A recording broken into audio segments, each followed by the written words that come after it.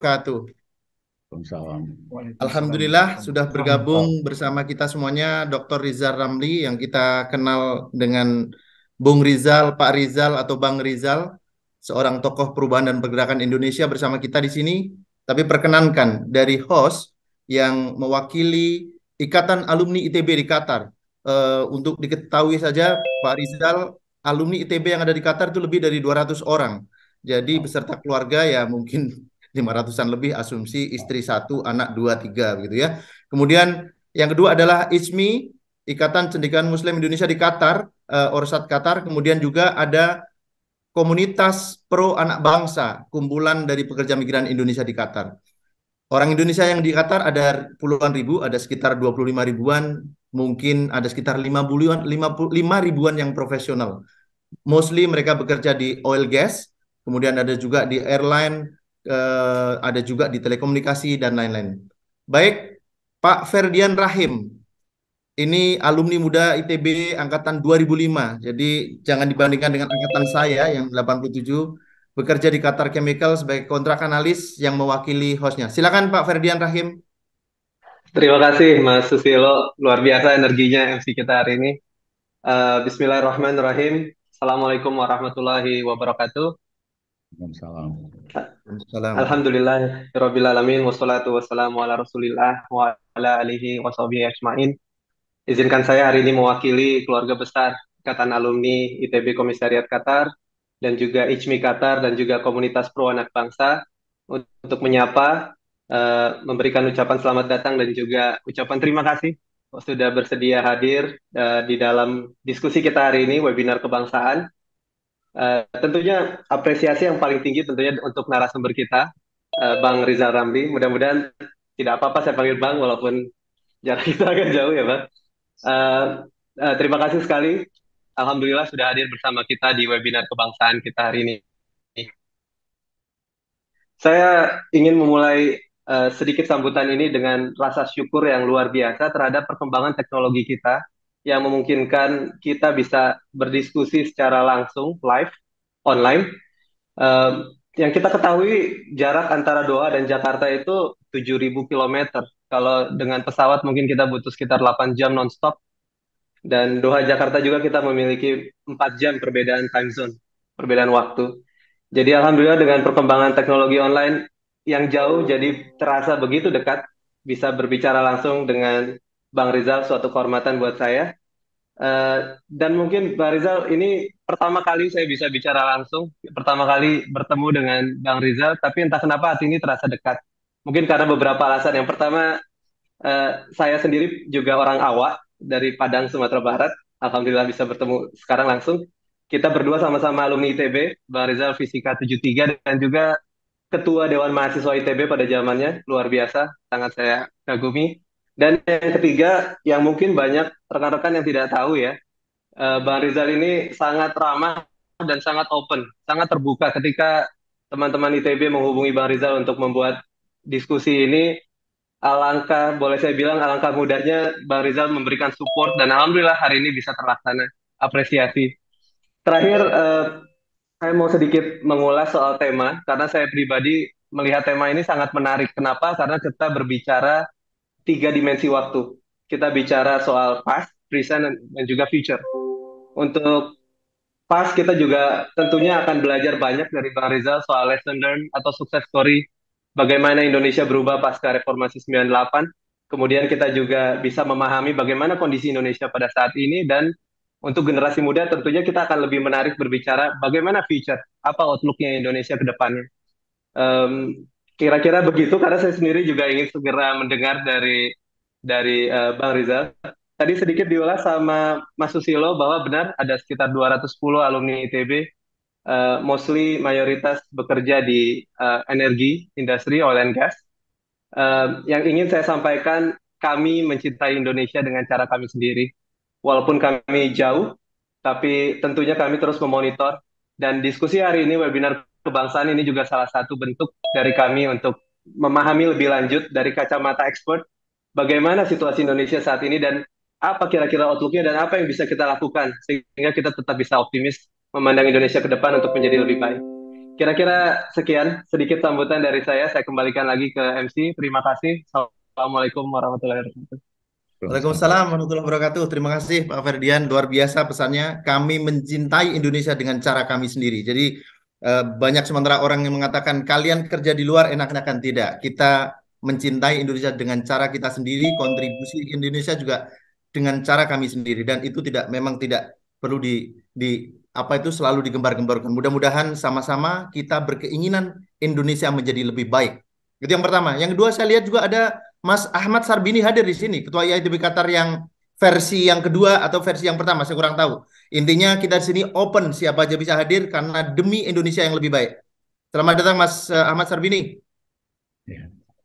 Um, Oke, okay, baik. Ke, sebelum uh, saya lanjutkan ke acara inti Pak Rizal, saya hanya ingin ngasih tahu bahwa pada sore hari ini kita akan pakai formatnya semacam talk show aja, ada tanya jawab. Kemudian nanti kita kasih ke audiens uh, kesempatan untuk bertanya. Saya dibantu dua panelis pada sore hari ini. Yang pertama Mas Ferdian Rahim sendiri, yang kedua Pak Ruri Novrian, seorang profesional oil and gas juga dari Qatar Gas. Nanti yang akan membantu saya. Untuk itu, Bapak Ibu semuanya yang sudah hadir, saya ucapkan terima kasih. Kita mulai acara pada sore hari ini. Baik, seorang pakar ekonomi yang juga dikenal sebagai tokoh perubahan dan pergerakan Indonesia, pernah menjabat sebagai Menteri Koordinator Maritim di bawah Presiden Jokowi tahun 2015-2016. Juga sebelumnya pernah menjabat sebagai Menteri Keuangan di tahun 2001, Menteri Koordinator Perekonomian di tahun 2000 dan 2001. Di kalangan internasional, tokoh ini pernah dipercaya menjadi tim panel penasihat ekonomi PBB. Tidak hanya itu, bukan level menteri saja, bahkan ketika ditempatkan sebagai kepala Bulog pada zamannya Gus Dur, membawa terobosan-terobosan yang luar biasa sehingga Bulog pada saat itu membawa keuntungan. Restrukturisasi restrukturisasi rekening off on budget dan lain-lain. Pembenahan IPTN pada saat itu namanya menjadi PT Dirgantara Indonesia sehingga memberikan nuansa yang lebih ke uh, uh, uh, uh, industri dirgantara yang internasional membenahi restrukturisasi utang, internalisasi, konsolidasi di dalam dan lain-lain dilakukannya pada zaman itu. Kritik pedasnya kita rasakan hingga saat ini, namun diakui penuh terobosan dan lebih banyak benarnya, meskipun tidak sedikit juga yang membencinya karena kritik-kritiknya. Kita sambut Dr. Rizal Ramli pada sore hari ini untuk membicarakan tentang 25 tahun Gerakan Reformasi Indonesia 1998. Selamat datang dan selamat hadir Bang Rizal bersama masyarakat Qatar di Doha dan juga teman-teman lain di Jakarta atau di wilayah lain mungkin. Terima kasih. Jadi itulah perkenalan sedikit dengan Bang Rizal. Tapi Bang Rizal, ini tadi kan saya menyebutkan secara garis besar. Saya pengen tahu aja Bang Rizal mungkin bisa diceritakan secara singkat. Uh, kontribusi Bang Rizal sudah tidak bisa di uh, uh, apa itu abaikan begitu saja kita semuanya tahu tapi bagaimana Bang Rizal dulu berkembang? Apakah dari kecil sampai dewasa itu ada di Padang, di Sumatera Barat, atau besar di wilayah lain, kemudian masuk ke ITB, kemudian sekolah di Amerika dan lain. Diceritakan secara singkat, mungkin less than 4-5 minutes. Silahkan Bang Rizal. Assalamualaikum warahmatullahi wabarakatuh. Waalaikumsalam warahmatullahi wabarakatuh. Zilo, ya kan, suaranya masih kenceng, masih gagah, Mas Ferdian, Ketua IA ITB Qatar, dan juga ada Mas uh, Ahmad Sarbini, Ketua IA Perjuangan. Ya, nah uh, saya senang sekali bahwa banyak sekali alumni ITB yang bekerja di Qatar, ada 210 orang, orang Indonesia juga 25 ribu, dan kebanyakan bekerja di industri oil and gas.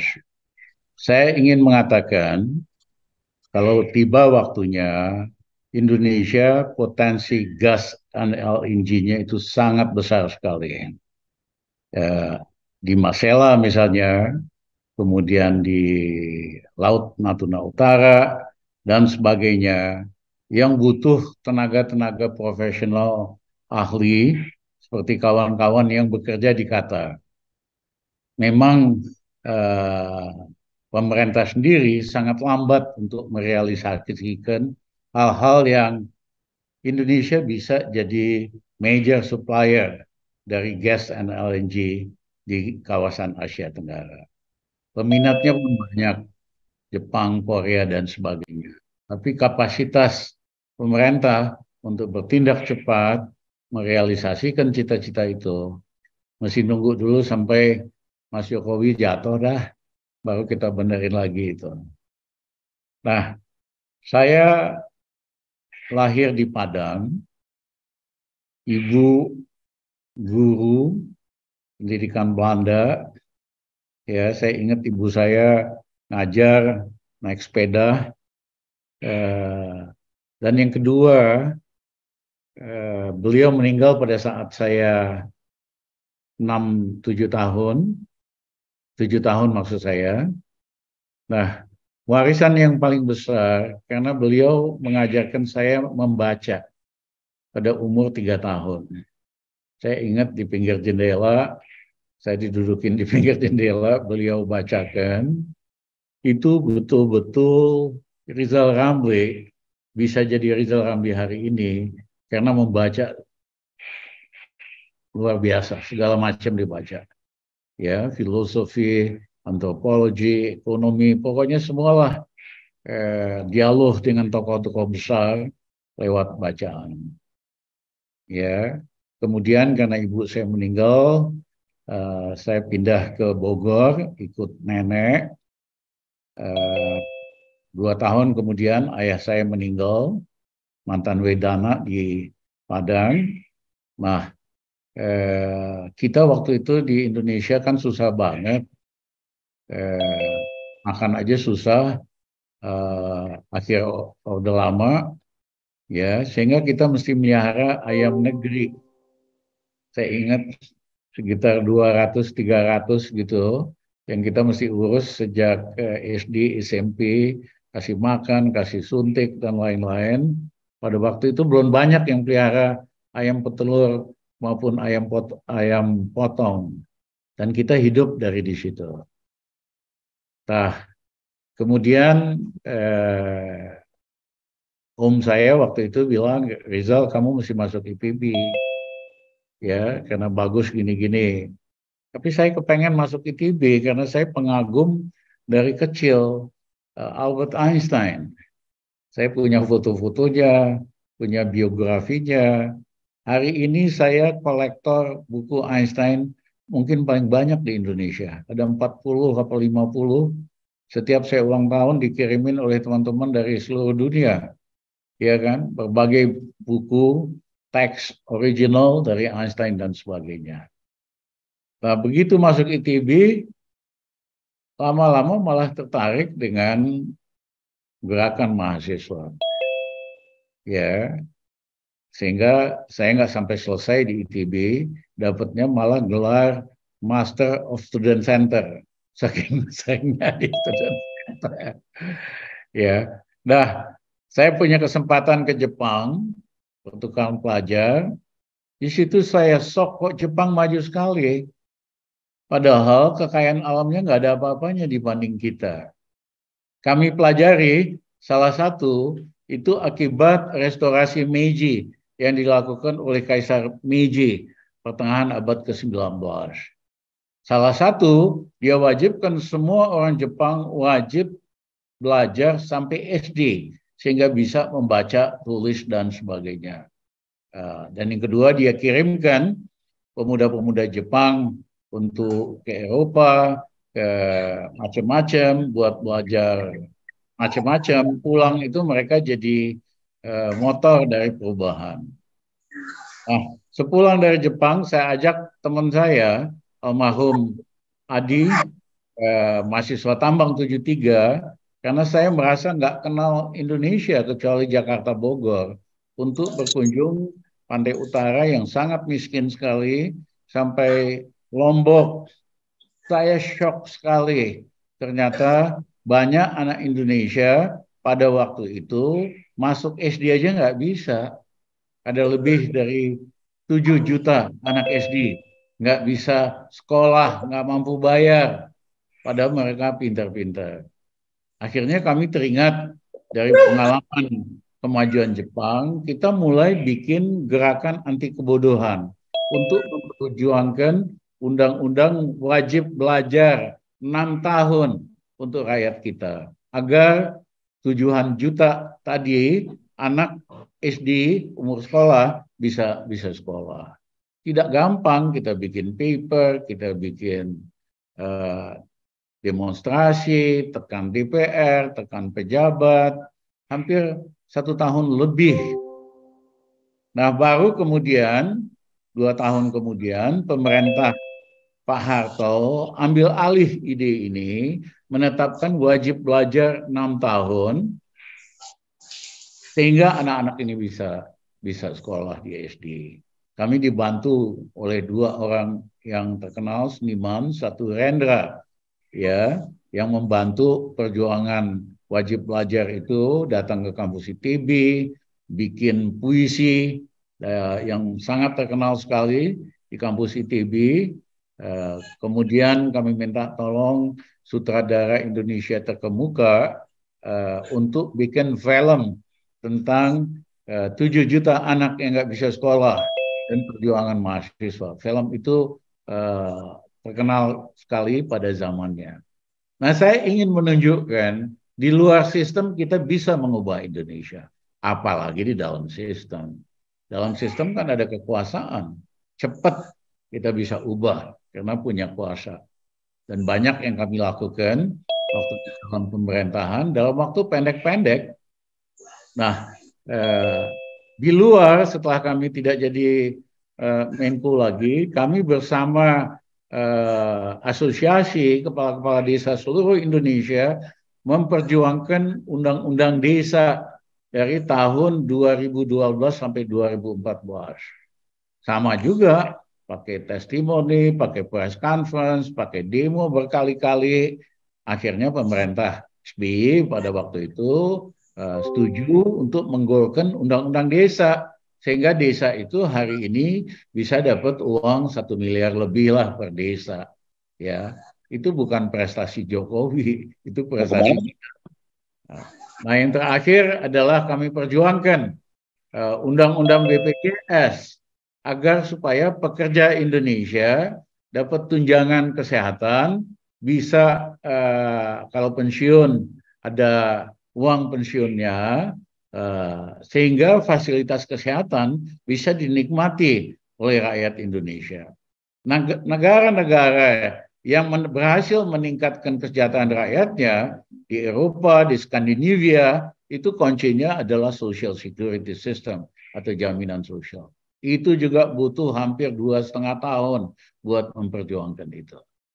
Jadi Susilo, saya ini orang yang percaya di luar kamu bisa ubah Indonesia, di dalam apalagi, ya kan? Dan uh, yang saya selalu terganggu dari sejak mahasiswa adalah Indonesia ini kaya banget, penduduknya rajin-rajin, baik-baik, matahari banyak, air hujan banyak, paling subur di seluruh Asia Tenggara, tapi kok mayoritas rakyatnya miskin. Nah itu sampai hari ini saya nggak terima, itulah yang motivasi saya nggak boleh diam, berjuang terus, ya kan, agar bisa terjadi perubahan agar Indonesia lebih baik. Terima kasih, Mas Susilo. Terima kasih Pak Rizal uh, insight-nya mengenai awal perjuangannya dan um, kita juga baru tahu ternyata enam tahun wajib belajar itu berawal dari sana. Bahkan kalau teman-teman semuanya di sini tahu, uh, peraih Nobel Ekonomi bertiga mereka Abhijit Banerjee, kemudian istrinya Duflo dan Michael Kramer kalau nggak salah, tolong koreksi saya kalau salah Pak Rizal ya. Itu adalah orang-orang yang meneliti tentang wajib belajar termasuk SD in press itu. Dan uh, entah berkaitan entah enggak, tapi mereka berhasil uh, uh, apa itu peraih Nobel Ekonomi uh, bidang ekonomi tahun 2000 18 2019 kalau nggak salah. Tapi penelitiannya tentu sudah dilakukan jauh-jauh sebelumnya. Baik, Pak Rizal terima kasih perkenalannya dan kita tahu ternyata begitulah semangat perjuangan yang tadinya ingin jadi Einstein akhirnya memperoleh gelar MSc, Master of Student Center. Bagi yang nggak tahu, apa itu Student Center? Student Center itu adalah tempat di mana para aktivis ITB berkumpul, mungkin kadang-kadang tidak pulang ke tempat kos, tapi bermalam juga di situ untuk membicarakan hal-hal yang bisa dilakukan demi perbaikan. Kemudian yang kedua, Pak Rizal, tadi menyangkut pendidikan Indonesia. Pendidikan Indonesia, kalau teman-teman tahu, lulusan sarjana di Indonesia itu bahkan hanya sekitar 4,3 persen. 4,3 persen S1 meskipun juga banyak sarjana yang nganggur. Jadi ada link and match yang tidak nyambung. Sementara yang tidak atau belum bersekolah itu masih menempati urutan tertinggi 24 persen. Apa kaitannya kenapa saya bilang seperti ini ke masalah demokrasi? Nah, kita masuk ke masalah inti sekarang. Demokrasi, sebagaimana yang kita ketahui bahwa setelah hidup selama hampir 32 tahun di bawah pemerintahan Presiden Soeharto, saya tidak mau mengatakan secara uh, apa itu black and white, tiran, diktator dan lain-lain silahkan Anda menilai sendiri. Tetapi di bawah kepemimpinan beliau masih uh, memang banyak hal-hal yang perlu diperbaiki. Salah satunya adalah untuk melepaskan diri menuju era demokrasi, yang itu salah satunya diperjuangkan lewat reformasi. Nah, bagaimana reformasi saat ini dibandingkan yang sebelumnya dan yang sudah terjadi uh, atau yang akan terjadi ke depan? Apakah demokrasi menuju ke kematian di Indonesia? Adanya lemahnya sendi-sendi demokrasi, prakteknya mereka seringnya mengubah undang-undang. Penolakan terhadap legitimasi oposisi misalnya. Atau mereka juga toleran terhadap kekerasan bagi mereka yang ber, berusaha oposisi terhadap pemerintah. Nah, Pak Rizal, gimana pendapatnya mengenai kalau ingat tulisan dari Robert Levitsky tentang how democracies die, mungkin uh, bisa disambungkan kondisi demokrasi di Indonesia saat ini ketika reformasi kita mulai sampai pada hari ini. Silakan Pak Rizal sebagai pengantar dari pembicaraan kita sore hari ini. Mas Susilo, saya flashback dulu. Siap. Tahun 96 kami atas nama Econet Advisory Group menerbitkan forecast dan outlook untuk ekonomi Indonesia tahun 97. Judulnya itu The Year of Uncertainty. Tahun penuh ketidakpastian. Kami meramalkan Oktober 96 bahwa Oktober dan 98 akan terjadi krisis ekonomi. Berdasarkan tiga hal penting. Satu, defisit transaksi berjalan Indonesia besar sekali. Yang kedua, hutang Indonesia, terutama utang swasta, sangat besar dan datanya bahkan pemerintah sendiri nggak punya berapa angka sesungguhnya. Yang ketiga, hitungan kami mata uang rupiah over value 7%.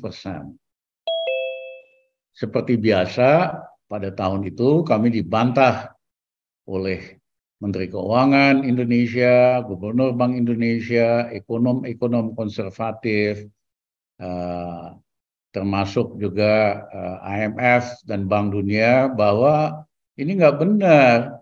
Ekonomi Indonesia 96-97 bakal bagus kok, nothing wrong. Kita termasuk apa salah satu yang bagus di Asia dan sebagainya dan sebagainya. Ya, nah Eh, kemudian eh, kami waktu itu eh, akhirnya ramalan itu terjadi 97 mulai terjadi krisis karena utang yang banyak sekali swastanya gagal bayar utang sehingga akhirnya negara juga kena kredit card Indonesia tidak berlaku di seluruh dunia, cek Indonesia berlaku, akhirnya Indonesia mengundang Kamdemsu, uh, Managing Director IMF ke Jakarta. Sebelum dia menghadap Presiden Soeharto di istana, dia undang beberapa ekonom di Hotel Borobudur, termasuk kami. Mereka, dia membujuk kita semua supaya mendukung kedatangan IMF dalam tanda kutip mau membantu ekonomi Indonesia. Hampir semua yang hadir setuju. Hanya saya yang mengatakan, mohon maaf, saya tidak setuju IMF cawe-cawe membantu Indonesia karena pengalaman di seluruh dunia termasuk di Latin Amerika terutama, begitu IMF masuk ekonominya malah makin anjlok, makin kacau dan sebagainya. Besoknya saya menulis headline di semua media di Indonesia, termasuk di Kompas, ya hati-hati IMF itu bukan dokter bedah, eh, bukan dokter penyelamat, tapi dia di dokter bedah yang ongkosnya mahal sekali.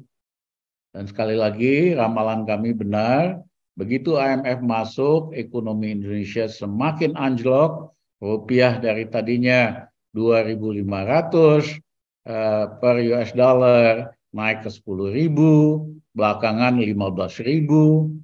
Yang kedua, ekonomi Indonesia yang biasanya tumbuh 6 persen, anjlok ke minus 13 persen. Krisis ekonomi termasuk terbesar di Asia. Uh, dan kami juga pada akhir 97, karena saya pada waktu itu penasihat ekonomi Angkatan Bersenjata Republik Indonesia, uh, ada 100 anggota DPR dari fraksi ABRI yang murid-murid kami, ya kan, uh, di pertemuan Seskogap di Bandung, Oktober 97, waktu itu ketuanya uh, Letnan Jenderal Ari Kumat, ada 200 jenderal dan kolonel yang hadir. Pembicara satunya adalah Jenderal Saidiman, mantan Kasat. Pak Saidiman dulu yang bicara, beliau pintar dan orator. Dia bilang Indonesia awal krisis Oktober 97. Tahun depan bakal lebih gawat lagi. Tidak ada pilihan bagi Angkatan Bersenjata Republik Indonesia kecuali mendukung Pak Harto All Nah, saya waktu itu sampaikan dalam satu overhead aja, gambarnya itu adalah bola kaca yang sudah retak. Saya katakan mohon maaf, saya 180 derajat berbeda dengan Jenderal uh, apa Saidiman. Indonesia hari ini kayak gini, bola kaca yang udah retak.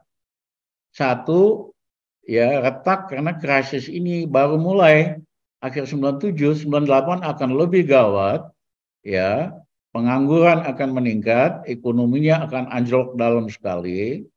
Dan yang kedua, menurut hitungan kami, pada Maret 98, Indonesia akan kekurangan beras di kota-kota besar mohon maaf, ramalan kami itu terjadi lagi persis.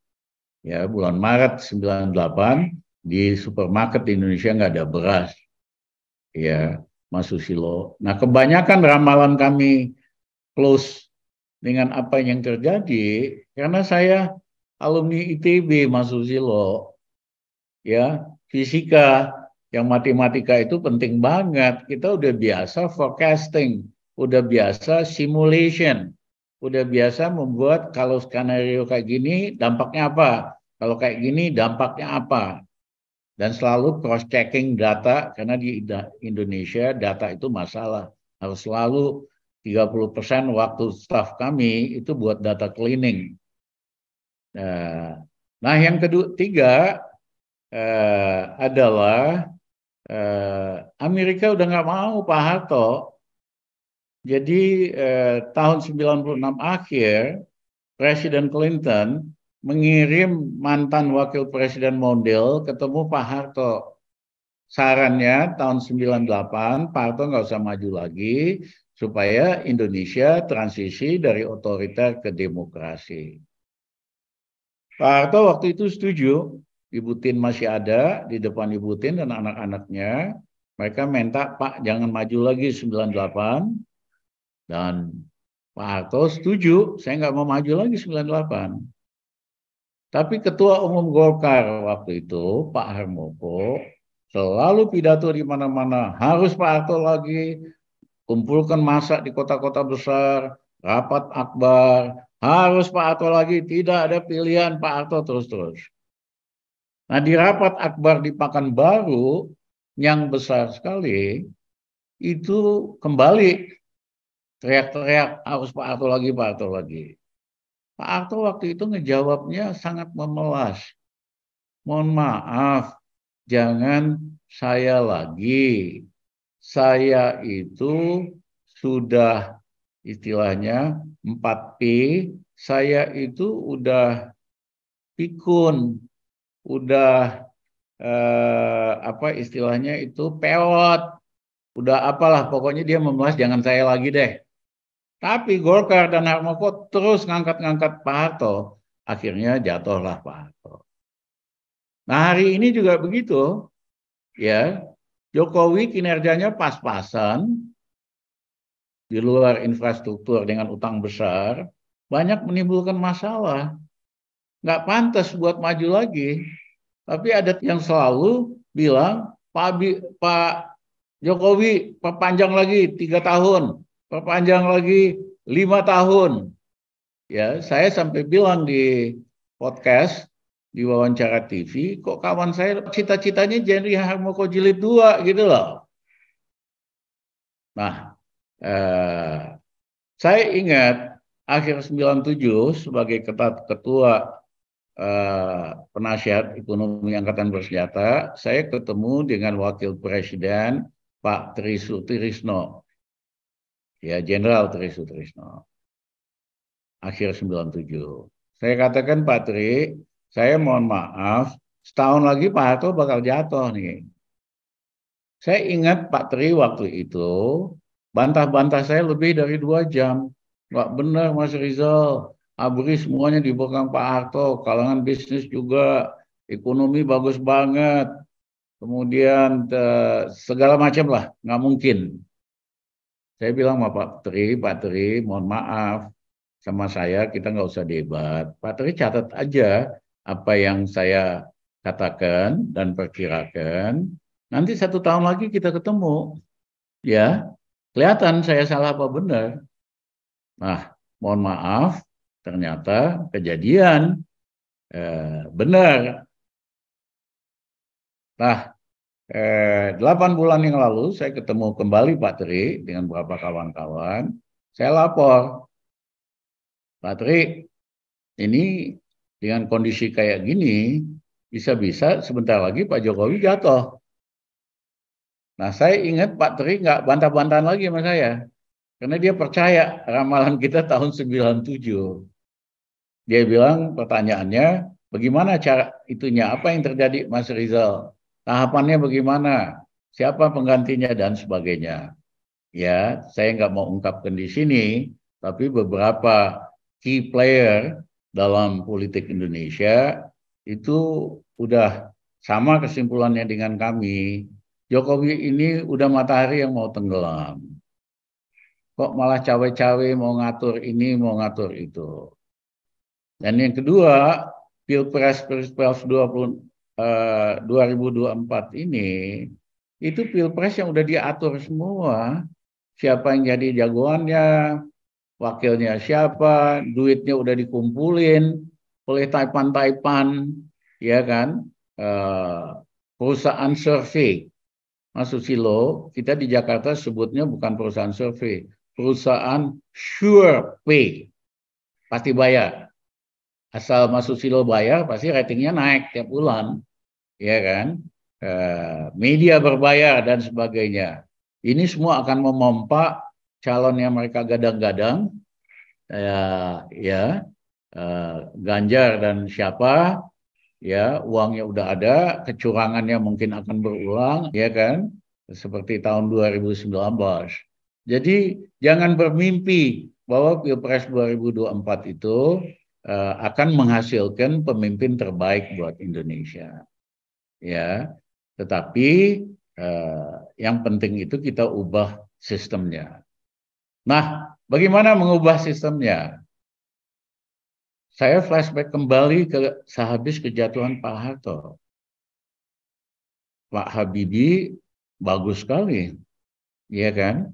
Dia perbaiki banyak hal, dia perkenankan pers tentu dengan tekanan dari kita semua supaya jadi pers yang lebih demokratis. Demikian juga Gus Dur.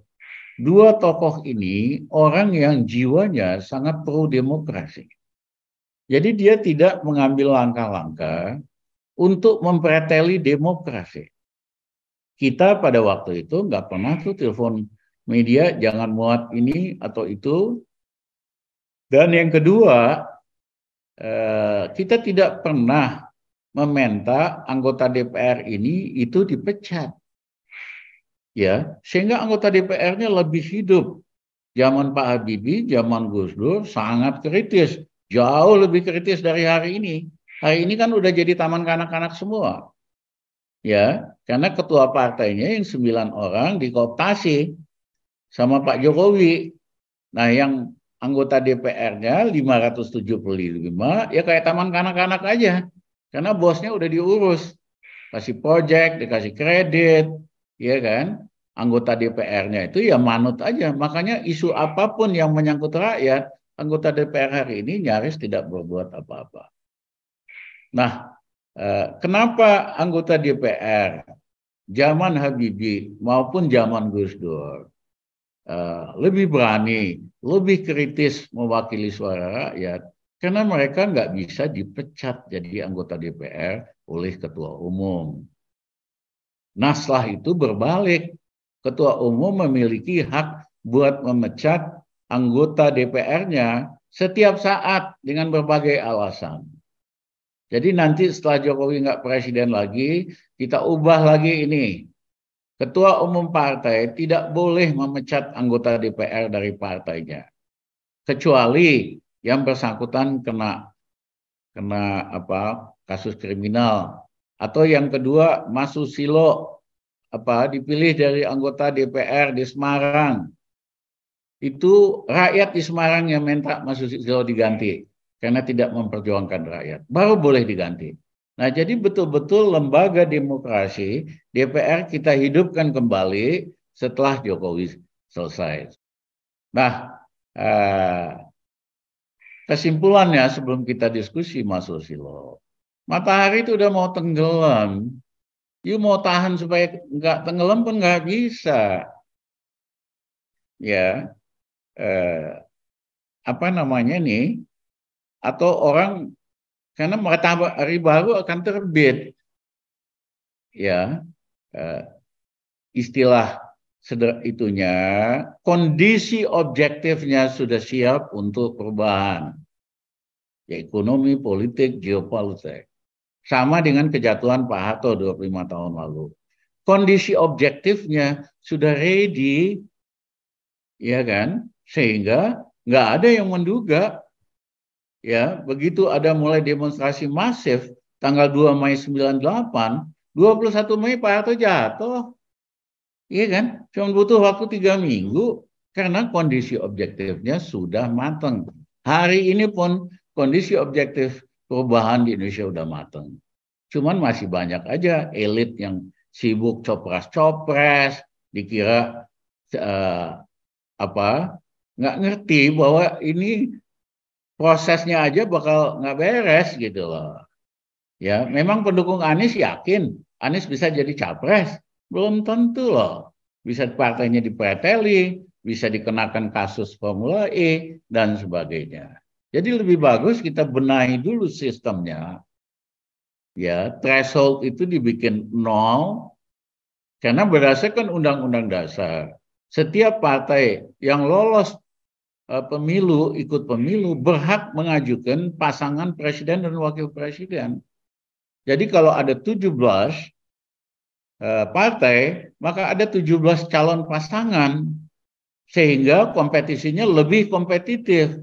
Tidak hanya modal uh, pencitraan kegorong-gorong atau model TikTok, ya kan? Betul-betul visi, ide, integritas.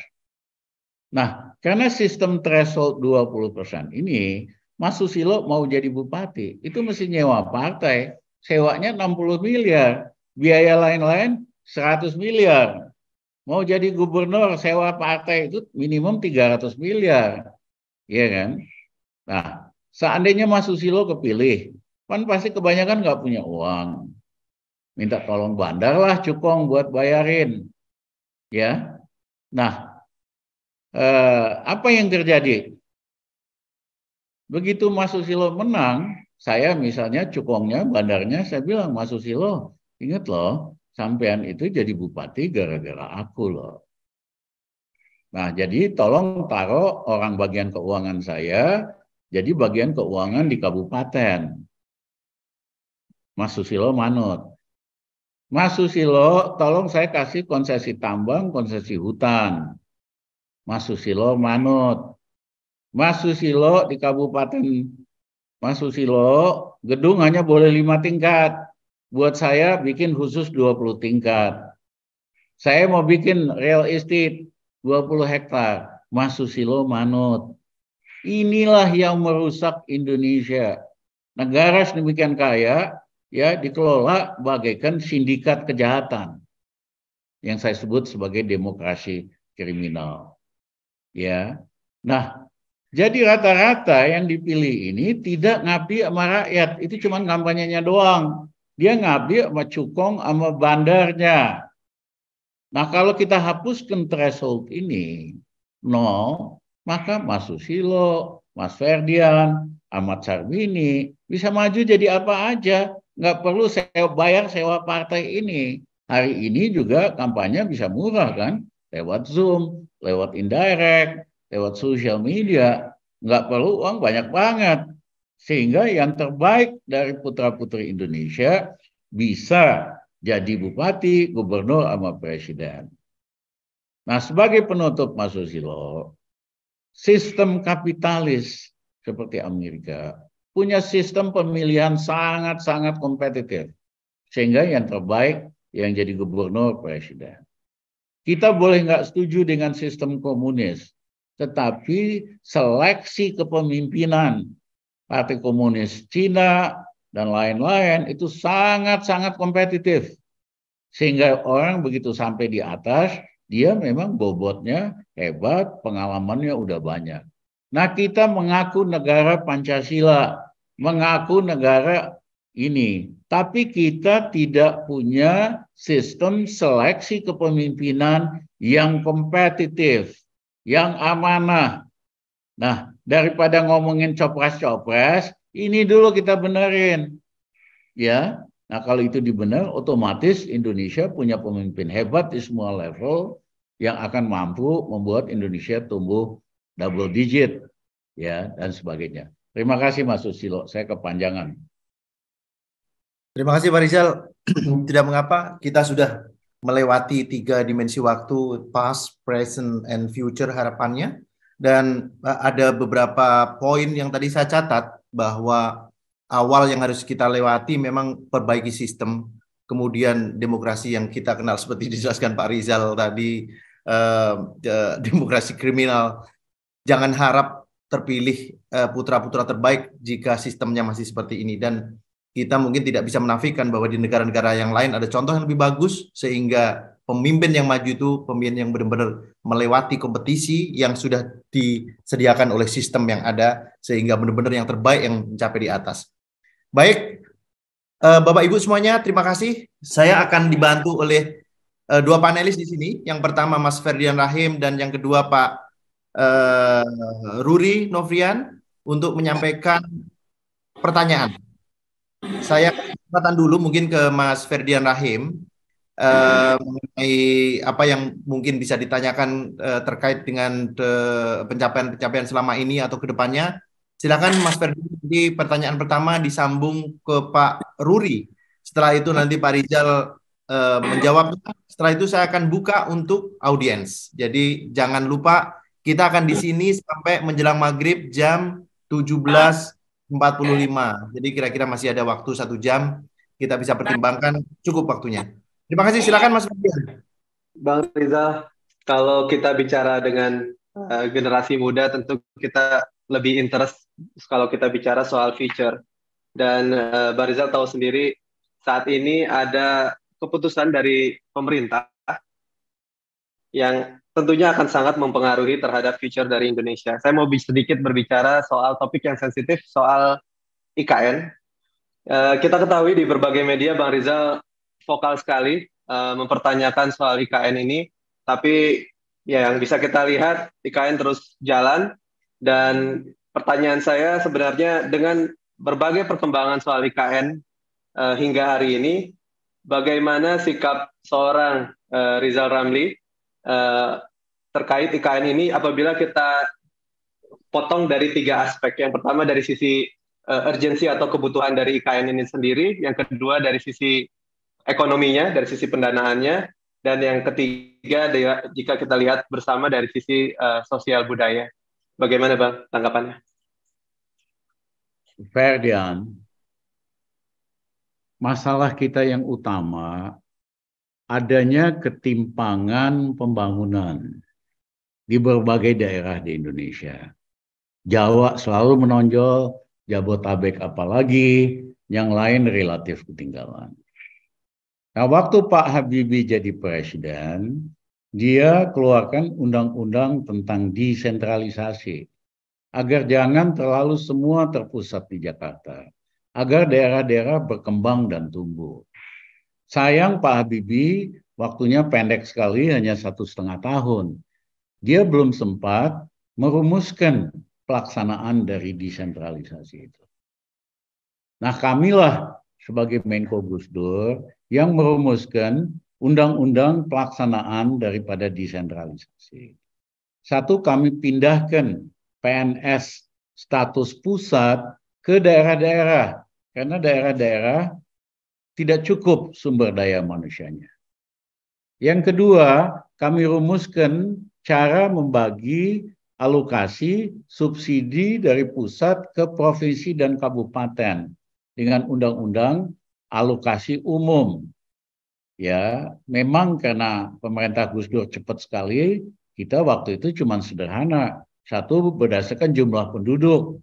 Provinsi, kabupaten yang banyak jumlah penduduk terima alokasi subsidi lebih tinggi. Yang kedua luas wilayah. Nah, eh, sebetulnya ada yang kurang, yaitu ketimpangan itu sendiri. Misalnya daerah yang tertinggal dan macam-macam harusnya ada bobot tambahan sehingga alokasi subsidinya uh, bisa lebih banyak. Nah, tapi kami menyelesaikan semua undang-undang ini dalam waktu hanya tiga bulan. Ya, kami punya pikiran kita bereskin dulu dah kerangka utamanya dengan harapan pemerintah setelah Gus Dur akan perbaiki sehingga hal-hal kelemahan itu bisa diperbaiki. Tapi sama sekali tidak terjadi perbaikan sampai hari ini nunggu Rizal Ramli jadi presiden lagi kayaknya Ferdian. Baru kita bisa benahin lagi. Nah, yang ketiga, kami rumuskan undang-undang alokasi khusus, yaitu daerah-daerah penghasil minyak bumi dan gas dapat persentase dari ekspor revenue. Itulah yang menjelaskan kenapa Riau, Baru, Dumai secara ekonomi maju. Itulah yang menjelaskan kenapa Kalimantan Timur, Balikpapan, dan lain-lain punya uang lebih banyak untuk pembangunan daerahnya. Nah, sama juga kami waktu itu mau masukkan sektor lain, tapi kita kan tiga bulan harus beres undang-undangnya. Ya, karena Indonesia kan krisis, saya mesti nanganin berbagai macam krisis yang lain. Nah, harusnya kita ubah itu yaitu kita masukkan daerah-daerah dan provinsi yang punya sumber maritim yang banyak, ikan dan sebagainya, dapat persentase dari ekspor revenue. Kebayang nggak itu? Maluku akan maju, Indonesia Timur, Flores dan sebagainya maju, Riau, lautan akan maju kalau itu terlalu. Yang kedua, daerah-daerah penghasil mineral seperti batu bara, emas, nikel, dan sebagainya dapat persentase dari ekspor. Kebayang nggak itu? Kalimantan akan maju, bukan hanya uh, Balikpapan. Yang kedua, uh, apa namanya nih Maluku yang kaya dengan mineral dan macam-macam akan makmur, Papua dan sebagainya dan sebagainya. Jadi kita kalau mau menganalisa dan cari solusi, mulai dulu diagnosa problemnya. Ya, diagnosa problemnya clear dulu, ketimpangan antar wilayah, antar daerah. Solusinya tadi dengan memberikan insentif dari ekspor revenue-nya. Nah sayangnya presiden kita ini kan dia nggak bisa diagnosa yang benar. Bagaimana caranya supaya ketimpangan tidak hanya di ini. Ya, dia solusinya bikin ibu kota baru. Seolah-olah dengan bikin ibu kota ketimpangan berkurang. Mohon maaf, ini solusi dangkal sekali. Kalau mau bikin ibu kota baru, mesti pak lihat pelajaran di negara-negara lain, Ferdian. Ada yang sukses, banyak yang gagal. Yang gagal contohnya Brazilian City. Tadinya ibu kota Brazil itu kan Rio. Ya. Ada ide kita pindahin bikin ibu kota baru. Pesawat terbang 4 jam Brazilian City. Apa yang terjadi? Kalangan bisnis ketemu pejabat tetap mau di Rio, rakyat tetap mau ketemu pejabat di Rio. Ini hanya jadi monumen aja. Akhirnya tempat liburan buat keluarga pejabat Brazil, buat uh, retreat, buat rapat-rapat, ngabisin SPJ gitu loh istilahnya. Nah itu contoh gagal. Yang kedua India. India itu ibu kotanya Old Delhi. Banyak penduduk, tidak teratur, kotor, tidak tertata. Nah, berapa puluh tahun yang lalu pemerintah India pengen punya ibu kota baru. Dia pilih di Punjab, di utara, pegunungan, dingin, udaranya bagus, hijau, penduduknya sedikit. Dibangunlah. Begitu jadi, apa yang terjadi? Cuman jadi monumen juga kosong. Siapa yang mau terbang tiga jam ke Punjab? Ya, rakyat mau ketemu wakilnya atau pejabatnya, nggak, nggak mungkin lah dia bisa membiayain ke Punjab. Akhirnya kemudian dia bikin ibu kota baru lagi, namanya New Delhi, yang hanya satu jam dari Old Delhi, ditata rapi, bagus, dan berhasil. Nah, dari pengalaman yang berhasil, banyak lagi yang gagal. Dan gagal ini prinsipnya sederhana. Memindahkan ibu kota baru itu maksimum kalau mau berhasil jaraknya dua jam, dua setengah jam dari ibu kota lama. Itulah Mahathir sukses membangun ibu kota baru namanya Putrajaya yang hanya satu jam dari Kuala Lumpur. Pejabat keluarganya tetap di Kuala Lumpur apa pejabatnya datang rapat tiap hari kerja di ini di Putrajaya. Jadi ide ini dari awal sudah ngamur. Ya, karena pemimpinnya wawasannya terbatas, anak buahnya banyak yang pintar-pintar, tapi penjilat semua. Asal Bapak pengen gini nggak dibantah. Nah terus kita semua dikibuli bahwa investor udah banyak dari ini, dari uh, apa Jepang, dari Timur Tengah, apa segala macam mau invest ratusan, bohong semua, ya kan? Sampai hari ini nggak ada investor yang baru mau masuk, ya. Dan kebanyakan yang masuk itu spekulan spekulan tanah, ya. Jadi hal-hal mercusuar tapi nggak ada manfaatnya. Ini kita harus hentikan nanti habis Jokowi. Gampang kok dengan satu perpu aja gagal itu. Ya, mungkin apa yang udah dikerjain cukuplah sampai situ doang. Ya, kita akan fokus mengurangi ketimpangan agar 70% industri di Jabotabek itu pindah ke luar Jawa. Nah, untuk itu kita mesti kombinasikan dengan kebijakan fiskal. Ngapain di seluruh Indonesia pajak perusahaan 30% sama? Iya kan? Nggak perlu kok. Kalau kami yang jadi presiden, mohon maaf. Di Indonesia Timur misalnya, atau sebagian Sumatera yang terkebelakang, kita kasih pajaknya cukup 15 persen. Di Jabotabek 30 persen. Kebayang nggak pengusaha? Begitu dia lihat pajak penghasilan corporate 15 persen, dia akan pindah ke lokasi itu. Iya kan? Uh, dan sebagainya. Jadi ada banyak cara yang inovatif untuk memperbaiki ketimpangan, mempercepat pertumbuhan ekonomi. Tapi mohon maaf, nggak bisa dengan presiden yang modalnya pencitraan. Mana bisa dia pidatonya aja ada yang ngebrief. Apa yang diomongin hari ini karena ada yang ngebrief. Besoknya uh, Ferdian ketemu beliau kasih brief berbeda, eh diumumin lagi di koran. Nanti siapa datang lagi Mas Ahmad Sarbini kasih brief berbeda tentang hal yang sama, eh diumumin lagi. Iya kan? Mana bisa memimpin dengan gaya gini? Pemimpin itu mesti punya visi, punya strategi, punya kemampuan operasional to make a dream jadi kenyataan. Demikian, Fabian. Terima kasih. Terima kasih, Bang. Terima kasih uh, Pak Rizal dan Mas Ferdian. Pertanyaannya uh, saya kira dijawab dengan uh, cukup jelas bahwa harapannya memang Center of Excellence itu tidak hanya berada di Jawa khususnya.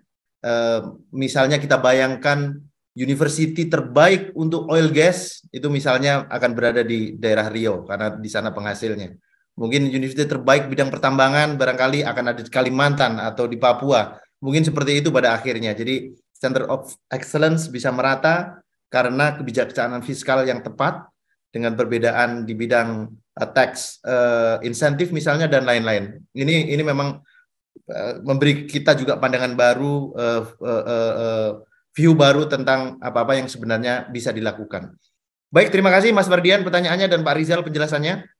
Saya lanjutkan ke panelis yang kedua, Pak Ruri Novrian Beliau ini adalah uh, salah satu uh, teman kita di Qatar Gas, oil gas profesional di bidang uh, apa condition monitoring untuk uh, machinery dan uh, bidang peralatan teknik. Pak Ruri, silahkan untuk menyampaikan uh, pertanyaannya, Pak Ruri. Terima kasih Pak uh, Susilo. Assalamualaikum Pak Rizal. Saya yes. panggil Pak Rizal aja karena saya lebih lebih prefer panggil Pak Rizal daripada Pak Rizal saya jarang dipanggil Pak. Waktu pejabat pun saya nggak mau. Saya selalu dipanggil Mas atau Bang. Oke, okay, oke. Okay. Saya panggil Bang oh. Rizal aja. Nah, itu aja saya lebih terus terang, iya. Ya. Terus terang sangat admire dengan pemikiran dan juga aksi Bang Rizal selama ini. Saya ikutin juga di Twitter. Dan uh, Alhamdulillah uh, acara Pak Bang Rizal hari ini sebenarnya panelisnya dari uh, Sumatera Barat semua. Saya kebetulan dari Pariaman, Pak. saya sebenarnya punya dua pertanyaan, pertanyaan pen, tiga pertanyaan penting, tapi saya lihat ada dua yang saya kayaknya ingin saya tanyakan sekali. Satu tentang geopolitik dan satu lagi tentang ekonomi. Uh, saya yang pertama geopolitik. Uh, kita tahu Saudi sekarang sebagai biggest ally US ally in the Middle East sudah ditching petrodollars untuk pembelian oil and gas. Dan mereka pun punya ketertarikan untuk bergabung ke BRICS, BRICS, uh, yang akan menjadi uh, uh, kutub polar baru ekonomi dunia, mengalahkan uh, G7. Nah, uh, pertanyaan saya adalah, apakah Indonesia sudah seharusnya mengajukan proposal untuk bergabung dengan BRICS yang menguasai lebih dari 60% world energy, di mana kita terus terang aja Amerika pun lagi dan Eropa pun lagi uh, apa sangat thirsty pada energi. Uh, makanya mereka ada Ukraine Rusia war. Nah, kalau memang gabung, apakah Indonesia punya bargain power di hadapan Cina yang uh, salah satu penggagas BRICS?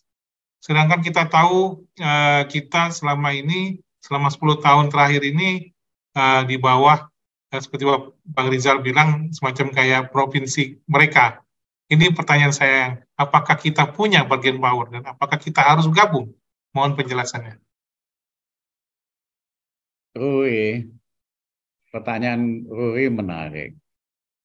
Memang terjadi strategic shifting dalam geopolitik. Tadinya dunia bipolar. Rusia sama Amerika lah jagoannya gitu.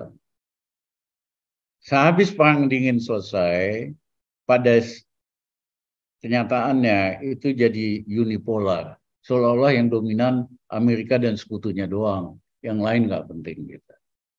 Tapi belakangan berubah lagi jadi multipolar. Ada kutub-kutub baru dari pertumbuhan, kekuatan ekonomi dan politik.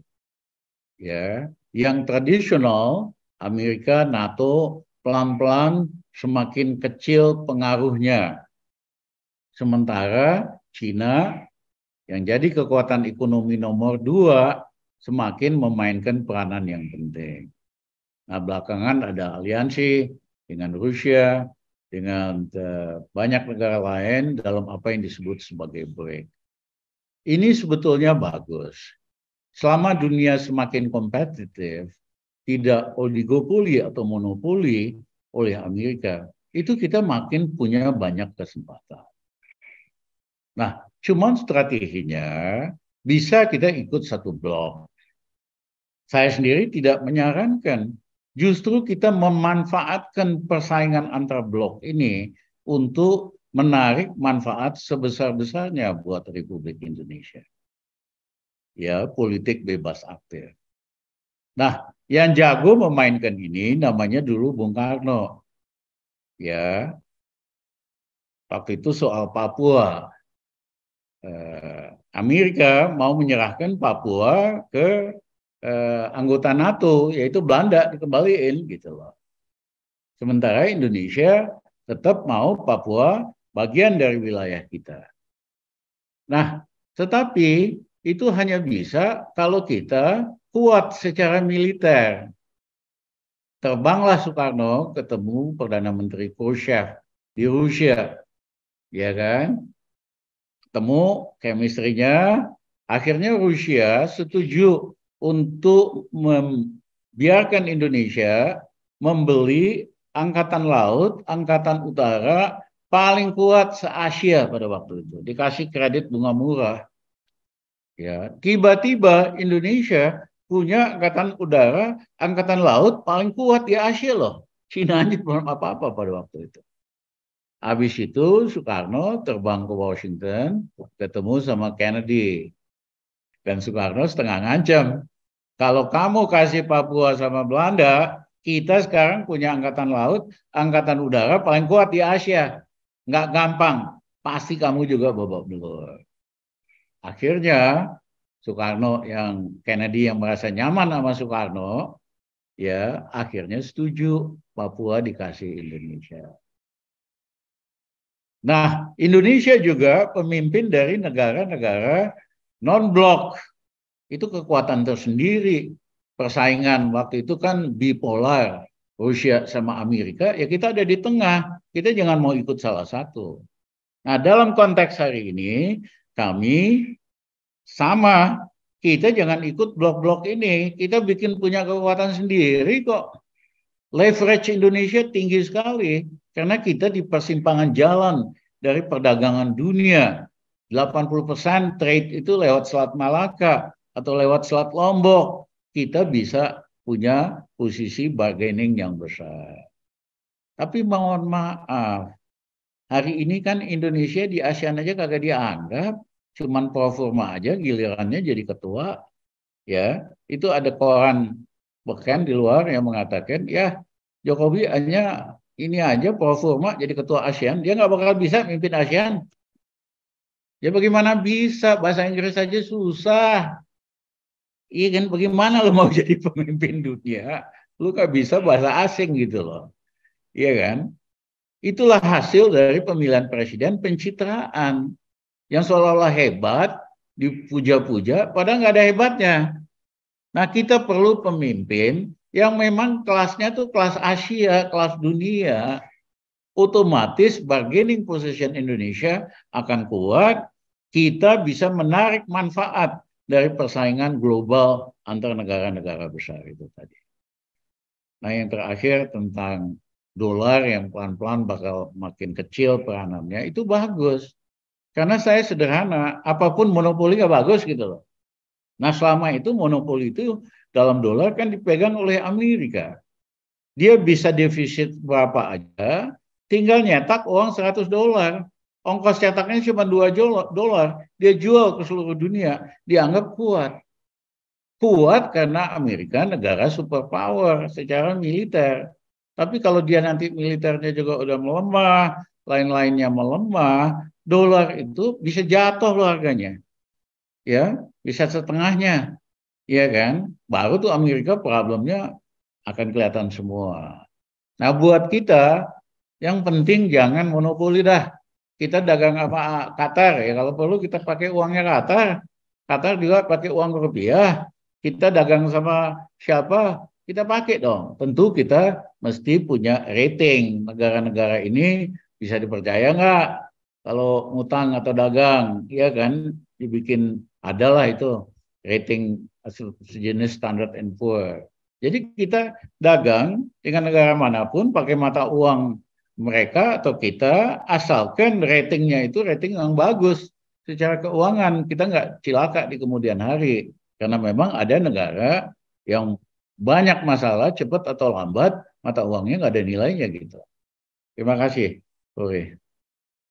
Terima kasih Bang Rizal. Saya sangat setuju juga dengan uh, per, uh, jawaban tentang bergabung atau tidak dengan BRICS karena memang selama ini kita tidak memanfaatkan uh, posisi strategis kita.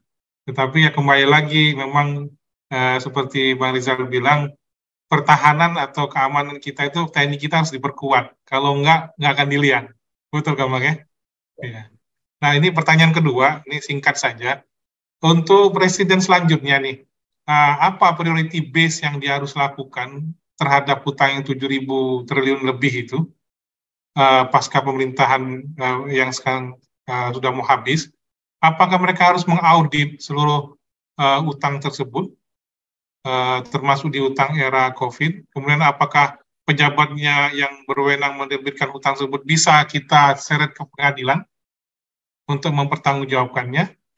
Uh, karena ada public policy abuse dari uh, kebijakan mereka. Kemudian apakah pemerintah baru terpaksa harus melanjutkan berhutang atau bisa moratorium hutang. Menurut Bang Rizal bagaimana hitungannya? Terima kasih. Jadi banyak dari hutang itu cacat secara hukum.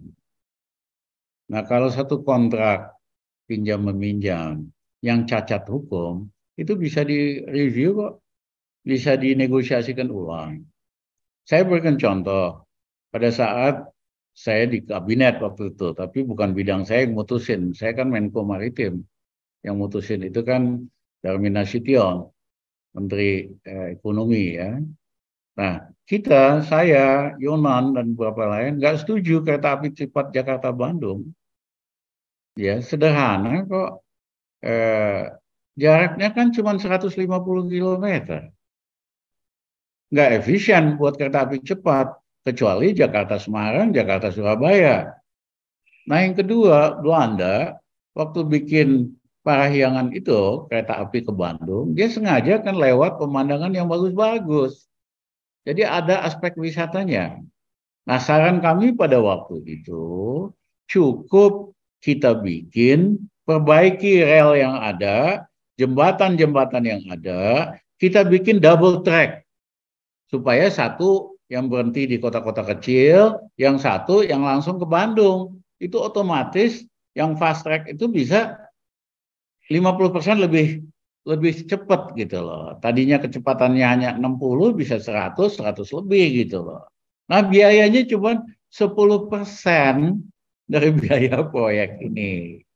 Tapi waktu itu Jokowi ya kan bersama Menteri BUMN Rini Suwandi terus ngotot harus ini harus itu. Nah dari hitungannya saja nggak masuk itu pembiayaannya. Ya sehingga Cinanya minta dibikinin tiga titik pemberhentian. Karena dia berharap dikasih real estate di tiga titik itu termasuk di Walini ya kan? Jadi dia tahu dari tiket nggak bakal untung. Mau untung dari real estate Walini dan tiga Nah, teman-teman kan alumni ITB, kebayang nggak itu jarak 150 km, kereta api cepat itu kan 300-400 km. Ya kan? 50 km pertama kita naikin maksimum 300 400. Kemudian 20 menit kemudian 30 menit kita masih rem supaya nol.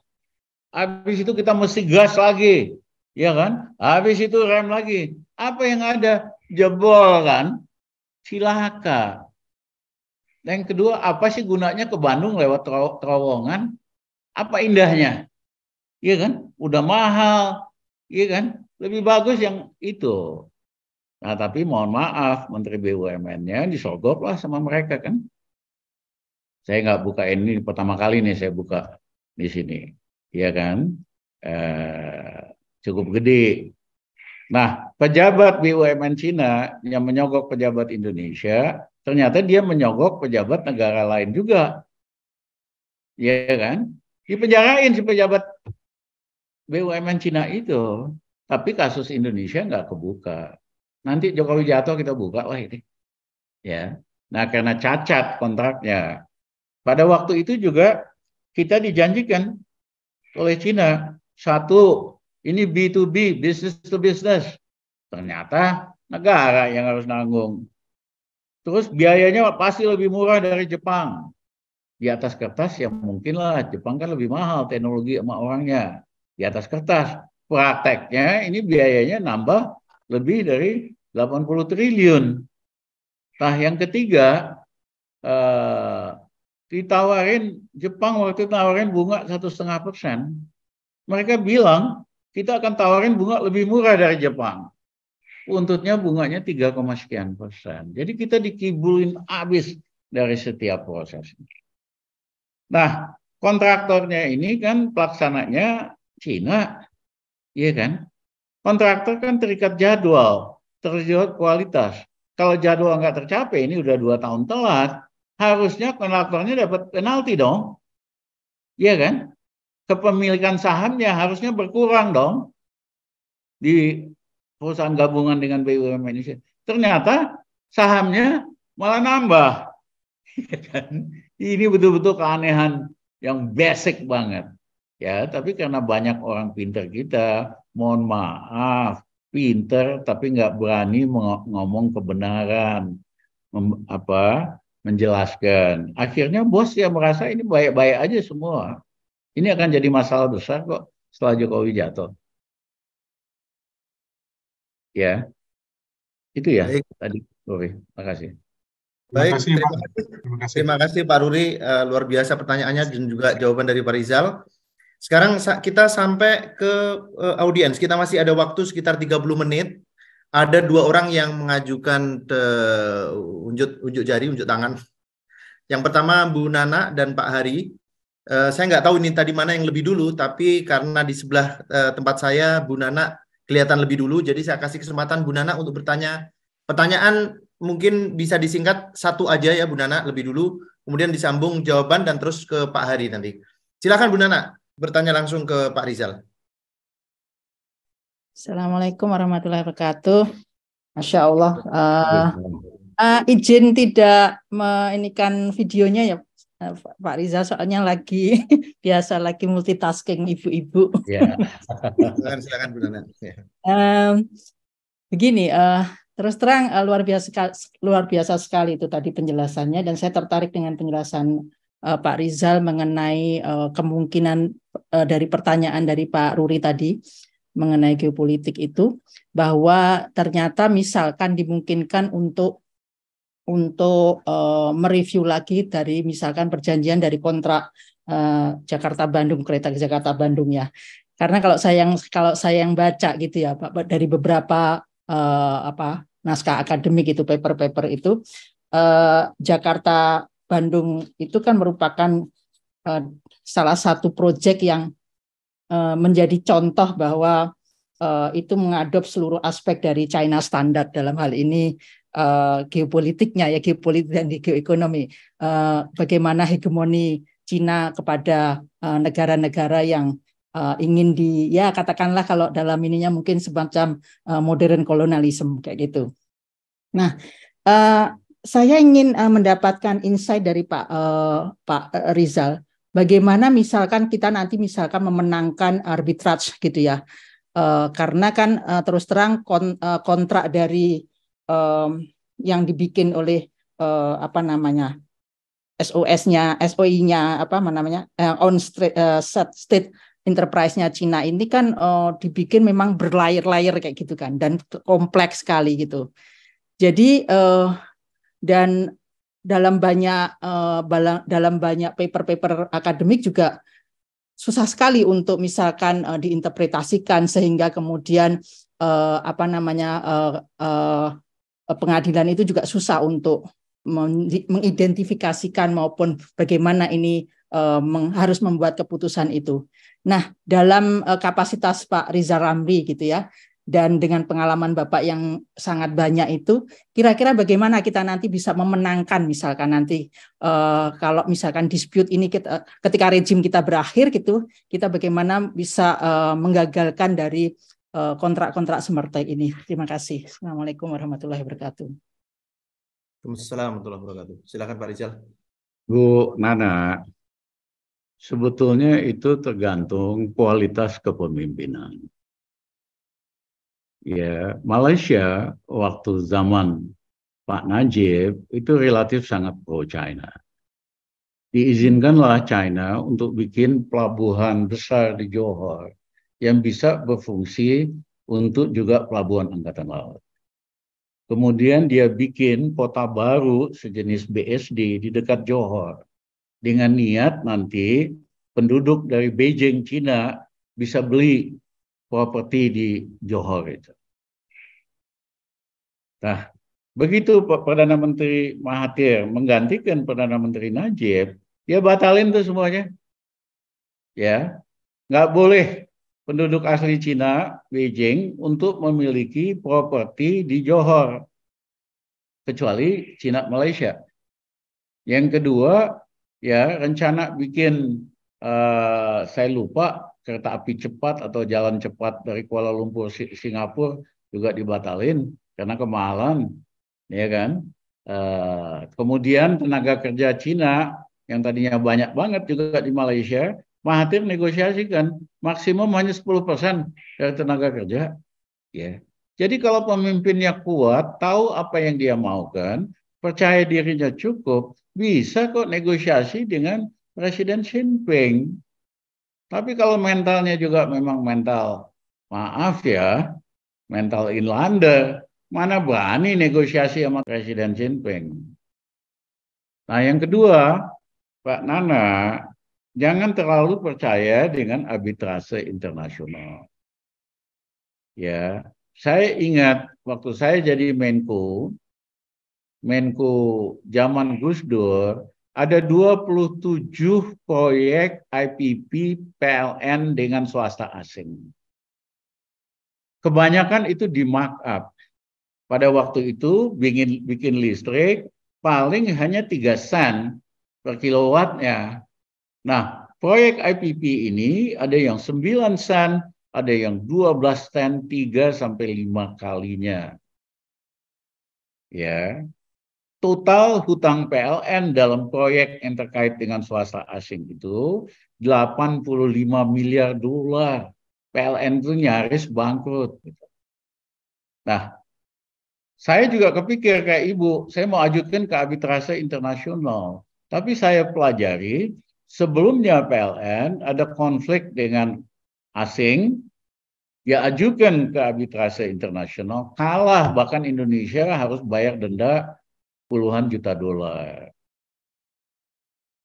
Nah, kemudian saya ketemu ekonom top pemenang Nobel namanya Joseph Stiglitz. Teman lama, Joseph bilang, Rizal, please never bring your case to international arbitrage. Saya sudah studi 99% negara berkembang yang majukan arbitrase internasional itu dikalahkan Nah dia malah kepengen ketemu Presiden SBY, minta tolong saya diaturin, karena dia mau lobby supaya di dalam undang-undang investasi Indonesia yang diperbarui tidak dimasukkan klausul wajib ke arbitrase internasional. Sempat ketemu Profesor Stiglitz sama SBY, tapi ya ngomong-ngomong doang, nggak ada follow up-nya, tetap juga ada klausul itu. Nah Bu Nana, saya panik luar biasa Iya kan? Pakai jalur hukum pasti kita kalah. Padahal ini membebani rakyat Indonesia dengan tarif san nggak tarif listrik nggak masuk akal. Nah, kita istiqoroh lah istilahnya, minta petunjuk sama Tuhan yang mau kuasa. Kasih saya jalan. Saya dalam hidup saya sering selalu bikin terobosan yang di luar yang diperkirakan orang. nah, kemudian saya ketemu Kepala Perwakilan Bank Dunia di Jakarta, Mark Big.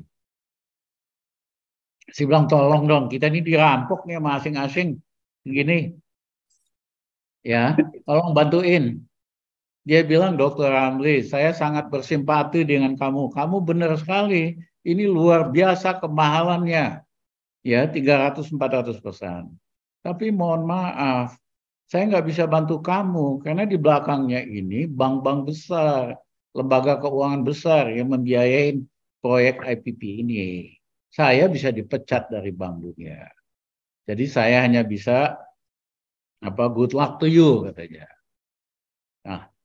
Saya pikir apa? Akhirnya saya ingat Rizal Ramli kan punya banyak teman di media pers di dalam sama luar negeri. Saya telepon teman saya, redaktur dari koran Wall Street Journal orang bisnis paling berpengaruh di dunia.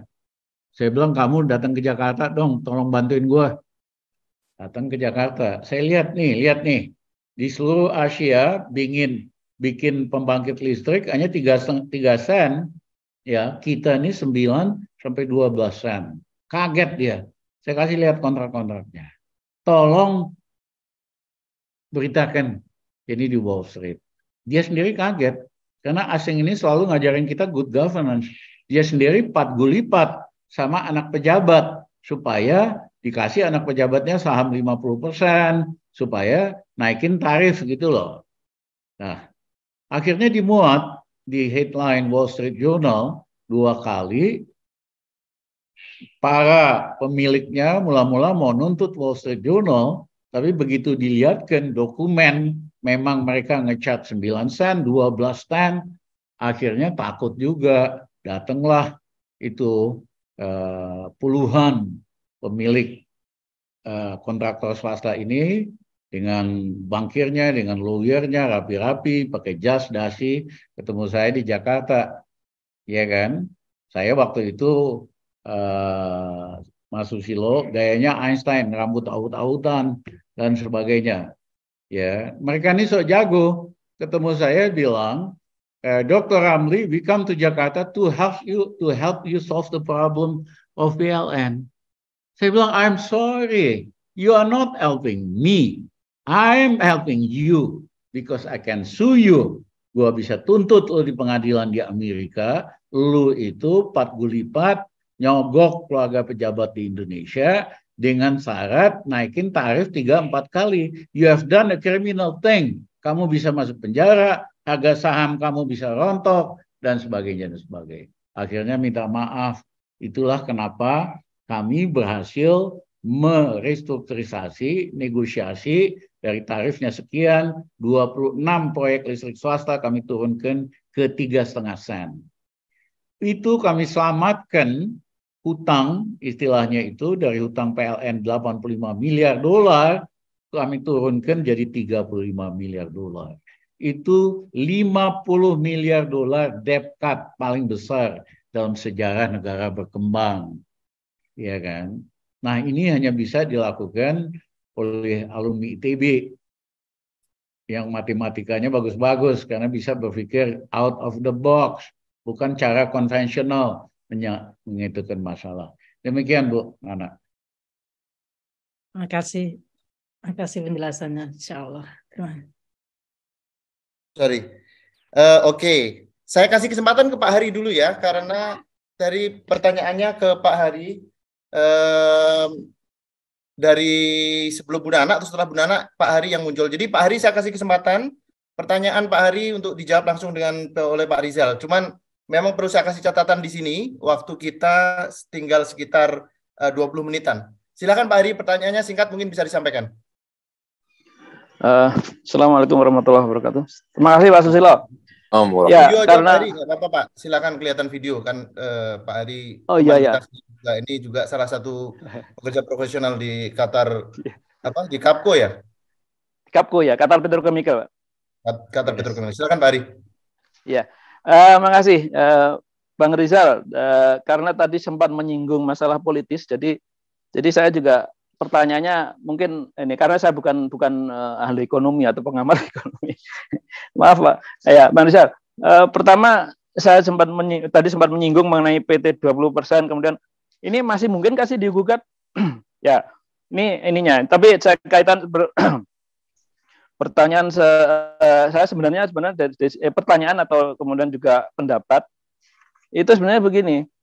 Uh, kalau menurut saya apa uh, uh, ini permasalahan itu sebenarnya dari dari sistem uh, pencapresan karena ini undang-undang ya secara konstitusional itu oleh parpol. Jadi semuanya semuanya menurut saya sumber permasalahan adalah karena parpol itu sampai dari dari anggota DPR adalah uh, semuanya sesuai dengan uh, arahan ketua umum dan sebagainya. Kemudian uh, presiden juga sekedar petugas partai aja.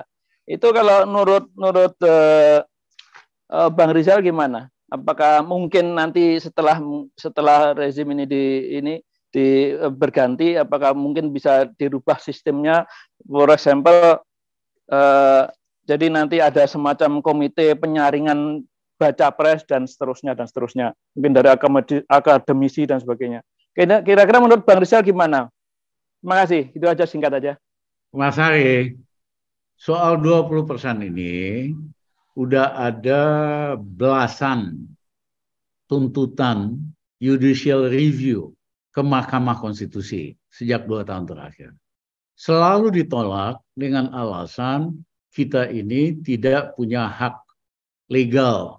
Misalnya saya sama lawyer-lawyer kami ajukan satu setengah tahun yang lalu ditolak dengan mengatakan saya nggak punya legal standing. Itu betul-betul pengelabuan. Karena setiap warga negara punya legal standing. Ya, apalagi menyangkut soal pemilihan pemimpin. Ya, saya khawatir dan saya umumkan di televisi, mereka itu takut kalau orang, orang seperti saya nongol di Mahkamah Konstitusi hakim-hakimnya nggak akan bisa mempertanggungjawabkan argumennya. Ya, apa basisnya? Karena di Undang-Undang Dasar sendiri ya tidak ada threshold itu nol. Partai pun nggak ada threshold. Ya kan? Kalau misalnya kepilih satu orang aja, bikin aja koalisi untuk bikin faksi dengan anggota 40 orang. Apalagi pemilihan gubernur, bupati, dan presiden. Ya kan? Nah, Cilakanya ketua MK-nya itu iparnya Jokowi. Ini betul-betul gross violation of governance. Kebayang nggak? Ya Amerika, ketua Mahkamah Agungnya itu masih saudara family dengan Presiden Amerika. Kalau ada rakyat atau lembaga menuntut keadilan ke Mahkamah Konstitusi, ya kan, pasti dia punya vested interest untuk selalu memenangkan presidennya. Makanya tidak boleh di negara demokratis ada konflik interest, ada keluarga KKN antara lembaga-lembaga negara. Nah ini setiap kali diajukan, sang ketua ini iparnya selalu membela presidennya. Ya, yang iparnya, misalnya soal omnibus law, ya kan ditolak. Uh, kemudian dibikin perpu, perpunya ditolak lagi sama rakyat, akhirnya diajukan lagi undang-undang yang nggak jauh beda gitu. Jadi betul-betul muncul. Nah tapi teman-teman nggak putus asa, seperti saya katakan tadi, kalau kita memperjuangkan satu sesuatu butuh satu tahun, dua tahun, nggak ada masalah. Kita persisten kok. Jadi bakal ada lagi tindakan-tindakan lain yang saya nggak bisa katakan untuk menekan Mahkamah Konstitusi untuk lebih betul menjalankan Undang-Undang Dasar. Yang kedua pilihannya, kalau Jokowi jatuh dalam waktu dekat, ya bubar itu. Nggak ada lagi threshold-thresholdan. Ya, dan kita akan lakukan tiga hal yang cepat seandainya Pak Jokowi jatuh atau turun dalam waktu dekat. Satu, kita akan turunkan harga BBM. Yang kedua, kita akan turunkan tarif listrik ke posisi dua tahun yang lalu sehingga rakyat cicilannya berkurang 40 persen dan uh, sehingga dia punya uang di kantongnya dan lain-lainnya. Kita ganti semua dulu KPU dan Bawaslu yang hanya dari ormas-ormas. Kita contoh pengalaman Pak Habibie. ada dua kali pemilu yang betul-betul adil dan amanah di Indonesia. Satu tahun 55, pemimpinnya amanah, rakyatnya amanah, tidak ada teknologi, hasilnya bagus. Yang kedua, pemilu yang dilakukan Pak Habibie tahun 99, karena dia angkat wakil-wakil partai jadi anggota KPU dan Bawaslu sehingga mereka saling intip, saling mengawasi ya. Tapi ketuanya, wakil ketuanya tokoh yang independen berwibawa yaitu Pak Jenderal Rudini sama Bang Buyung Nasution. Itu pemilu paling adil, paling fair. Iya kan? Nah, hari ini mereka sengaja memilih anggota ormas supaya gampang diatur semua. Nanti kita ganti anggota KPU sama Bawaslu dengan wakil dari partai-partai supaya saling mengawasi nanti nggak perlu lagi uh, apa nggak perlu lagi uh, itu istilahnya itu saksi-saksi terlalu banyak.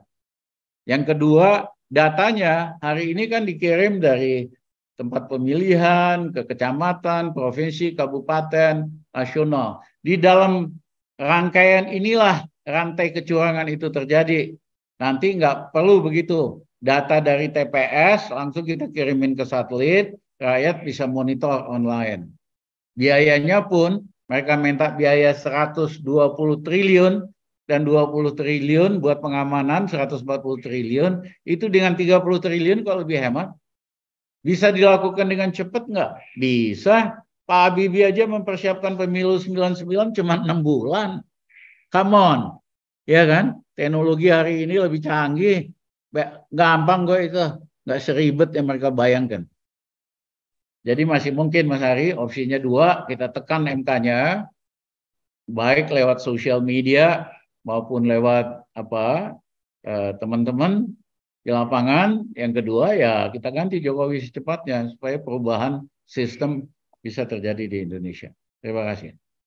Jelas ya Pak Ari ya, ya Pak ya mengenai itu eh, apa tadi yang pencapresan oleh parpol itu menurut saya itu perlu digugat itu juga itu nanti. Uh, kalau itu ada di undang-undang dasar. Ya, ya maksudnya ya. mungkin nah, nanti ada ada jangka panjangnya.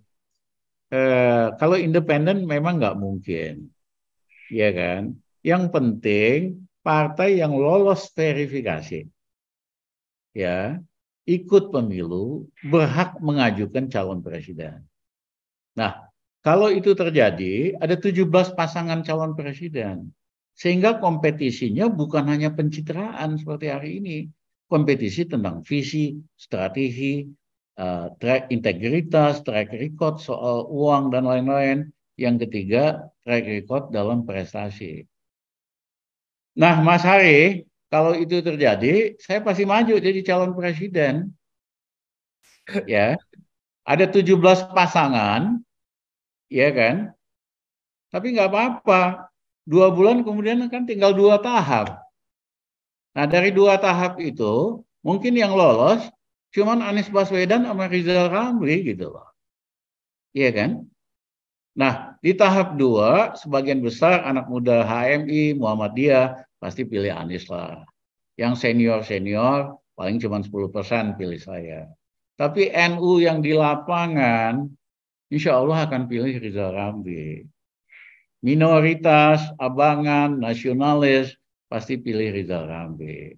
Jadi Anies Baswedan lawan Rizal Ramli di tahap 2 bisa-bisa 70-30. Tapi karena Anies orang baik, orang bagus, ya kita rangkul lah. Iya kan? Nah yang kedua, pemilihan anggota DPR, DPD, baru kita tiga, lakukan tiga bulan setelah pemilihan presiden teman-teman yang mau masuk partai politik gabung sama partai Guram yang dukung gue. Otomatis menang koktail itu seperti di Prancis partai besar kiri udah lupa rakyat. Partai kanan besar lupa rakyat. Marcos eh Macron bikin partai baru. Anggotanya anggota Facebook dia doang 200 ribu. Ya. Nah apa yang terjadi? Karena rakyat udah bosen sama kiri besar kanan besar yang lupa sama rakyat, terpilihlah si Macron. Tiga bulan kemudian baru pemilihan anggota DPR di Prancis. Semua orang hebat, pinter masuk partai guramnya Macron. menang 70 persen. Jadi nggak perlu lagi dagang sapi. Nah jadi nanti misalnya kita menang, teman-teman yang mau masuk ikut partai pendukung saya. Pasti menang, kotel namanya itu. Nah begitu kita 70 persen menguasai DPR, kita nggak perlu dagang sapi sama partai-partai gede yang kerjanya cuma malak aja nih. Ya, yeah. nggak perlu negosiasi dengan partai-partai begini. Iya kan? Jadi aja oposisi, timpa aja pemerintah yang berkuasa. Kita kan demokratis, kritik aja. Kalau lu hebat ya kita jatuh. Kalau lu nggak hebat ya menang kita kan gitu aja. Iya kan? Tapi uh, kita ubahlah Indonesia dengan cara-cara yang modern. Nah yang kedua nanti begitu Rizal Ramli presiden, partai politik kita akan biayain oleh negara. Ya, seperti di Eropa, Skandinavia, di Jerman, di Inggris, di Australia, New Zealand. Sehingga bupati, gubernur, anggota DPR bukan loyal kepada Cukong, bukan loyal kepada Taipan, tapi dia loyal sama bangsanya, sama bekerja untuk rakyat. Nah, tetapi kita sudah sediakan budgetnya sekitar 30-40 triliun untuk biayain partai-partai ini. Daripada hari ini mereka nyolong di APBN, APBD, di BUMN, nilainya 300 triliun. Jadi jauh lebih hemat. Tetapi satu, partai yang terima subsidi negara harus diaudit pengeluarannya. Tidak boleh dipakai untuk kepentingan pribadi. Kayak si Trump inilah, duit kampanye dia 300 ribu dolar, dia pakai buat nyogok selingkuhannya supaya nggak nyanyi. Diadili kan? Kita juga harus gitu. Iya kan? Nggak boleh uang buat partai dipakai buat pribadi. Hari ini itu semua ngaku buat partai. Padahal anggota DPR lihat aja tuh. Uh, di ruang parkirnya. Showroom mobil mewah itu. Bagaimana mereka bisa afford begitu? Nah, yang kedua adalah partai-partai harus berubah ADART-nya.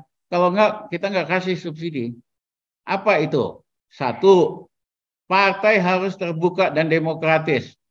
Misalnya, Mas Susilo mau jadi partai masuk PDIP, berhak jadi ketua umum tanpa harus jadi cucu Soekarno.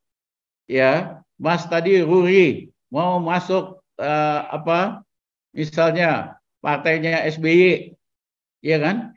boleh jadi ketua umum tanpa harus jadi anak atau mantunya SBY. Itu dong demokrasi partai baru di luar bisa ngomong demokrasi. Di dalamnya aja kayak CV, perusahaan pribadi, kok ngomong demokrasi gitu loh. Nah, yang ketiga adalah tidak boleh memecat anggota DPR-nya kecuali melakukan tindakan kriminal atau URI ditolak di daerah pemilihannya karena dia nggak bekerja buat rakyat. Jadi kita bikin lembaga-lembaga demokrasi berfungsi, bukan semua buat jadi bebek, jadi taman kanak-kanak. Terima kasih. Terima kasih Pak Rizal, cukup lugas dan tegas jawabannya Pak Ari. Mudah-mudahan tadi yang saya catat memang selain perbaikan sistem, perubahan sistem pemilu, juga pemilihan capres yang lebih legitimate dan menghasilkan orang-orang terbaik di uh, bidangnya. Uh, tadi ada yang nanya secara pribadi itu siapa? Joseph disebut-sebut terus Pak Rizal Ramli. Saya jelaskan aja di sini. Joseph Stiglitz ini salah satu ekonomis uh, dunia uh, penerima hadiah Nobel juga. Dan dia New Keynesian mungkin kalau nggak salah dia salah satu profesor di Columbia University. Ya. dan itu hanya bisa kenal dengan orang-orang yang memang prominent salah satunya Dr. Rizal Ramli di sini itulah pentingnya kenapa presiden calon presiden juga harus orang-orang yang pintar tidak hanya orang yang baik supaya literasinya itu bisa berfungsi. Dalam hal ini kita tahu pemimpin-pemimpin kita zaman dulu seperti Pak Karno beberapa tulisan bahkan diusulkan menjadi world memory di UNESCO. Pidatonya seperti itu build the world new, new emerging forces dan lain-lain ada tiga kalau nggak salah juga uh, uh, karena apa? Karena mereka memang banyak buku, tahu sejarah dan juga bacaannya banyak. Tidak cukup hanya membaca Shinchan atau Doraemon misalnya seperti saya. Jadi Uh, begitulah teman-teman, ini masih ada waktu hanya satu menit. Gimana nih? Ada ada satu lagi pertanyaan dari Pak Abu Rafif. Rupanya Bang Rizal satu pertanyaan masih masih oke okay nggak kira-kira? Ya, please. Oke, okay, satu kasih, satu pertanyaan lagi.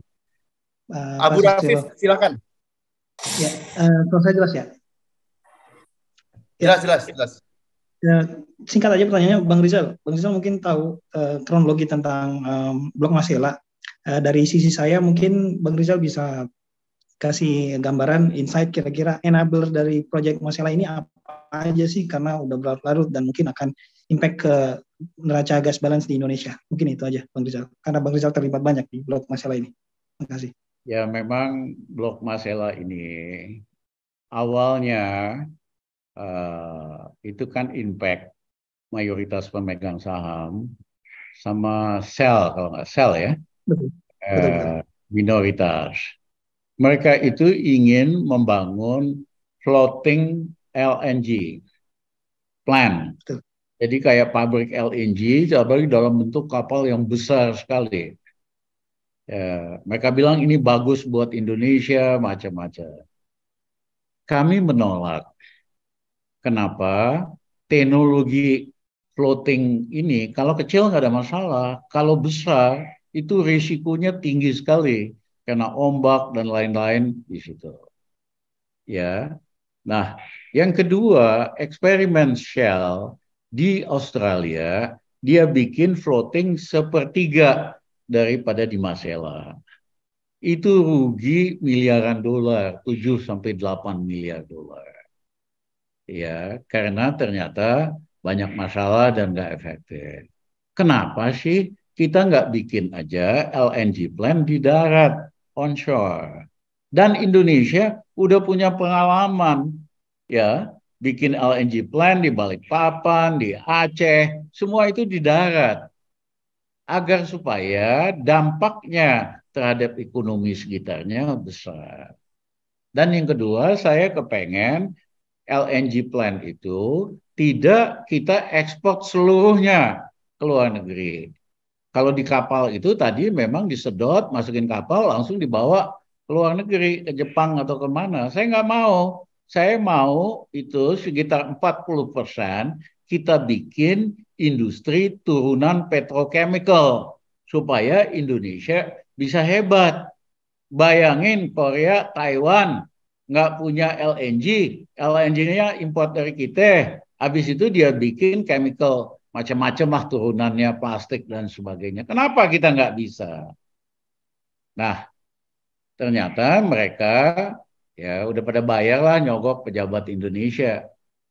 Kami tunjukkan di kabinet eksperimen sel ini gagal. Masa kita mau niru tiga kalinya lebih gede, resikonya kerugiannya puluhan miliar dolar. Berat buat negara seperti Indonesia. Nah saya panggil waktu itu managing country manager daripada Shell di Indonesia. Kebetulan anak ITB. Panggil ke rumah. Saya bilang kamu kebangetan amat sih kamu kan tahu teknologi ini masih eksperimental kalau skala gede. Kok tega kamu jualan gini ke Indonesia? Kenapa kamu nggak jual ke Norwegia, ke manalah Inggris, yang kalau rugi segitu tuh buat mereka nggak ada masalah. Mereka bilang akhirnya ngaku kita berdua mau coba jual ke Norwegia, nggak tertarik, ngerti nggak? Ya, Indonesia mah gampang, Istilahnya buy in, buy in itu bayar sogok. Pejabat Indonesia jadilah itu barang. Nah, mereka ngotot banget. Saya dihabisin di media sebagai nggak bertanggung jawab. Tapi akhirnya Pak Jokowi dengar saya, Mas ini kalau kita mau supaya efeknya besar harus di darat. Yang kedua kita udah pengalaman bikin puluhan plan itu di darat ngapain ngambil risiko di sini? Nah yang kedua adalah saya kita kepengen 40% buat downstream petrochemical industry supaya kita jangan jual bahan mentah. Akhirnya Jokowi setuju saya ikut saya. Ya kan? Nah tetapi sehabis itu pemerintahannya nggak push. Impactnya pun nggak agresif. Sel udah narik diri. Nah sementara Pertamina tunjuk salah satu anak perusahaannya buat gantiin Shell. Tapi uangnya kagak ada atau belum ada atau apalah. Jadi hang terus. Jadi sejak saya rame-rame itu 2016 pemerintah pengganti kita nggak teken impact-nya. Ya. Nah, kalau itu dilakukan misalnya 2016, 2020, 2019 udah jadi itu plannya. Kita eksportir LNG besar, Indonesia untung, apalagi perang di Ukraina ini. Ya, jadi kita kehilangan lost momentum akibat kelambatan birokrasi kita. Ya karena banyak yang dari China yang nyogoknya lebih gede lah. Asalnya gitu sibuk ngurusin proyek dari Beijing. Ya nah nanti mohon maaf Jokowi ganti ini masalah kecil kok.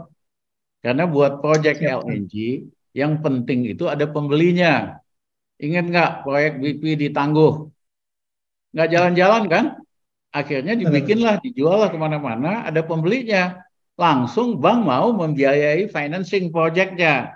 Kontraktornya pun mau dibayar dicicil. Yang penting ada pembelinya gitu ya. Jadi kuncinya ini ada pembelinya.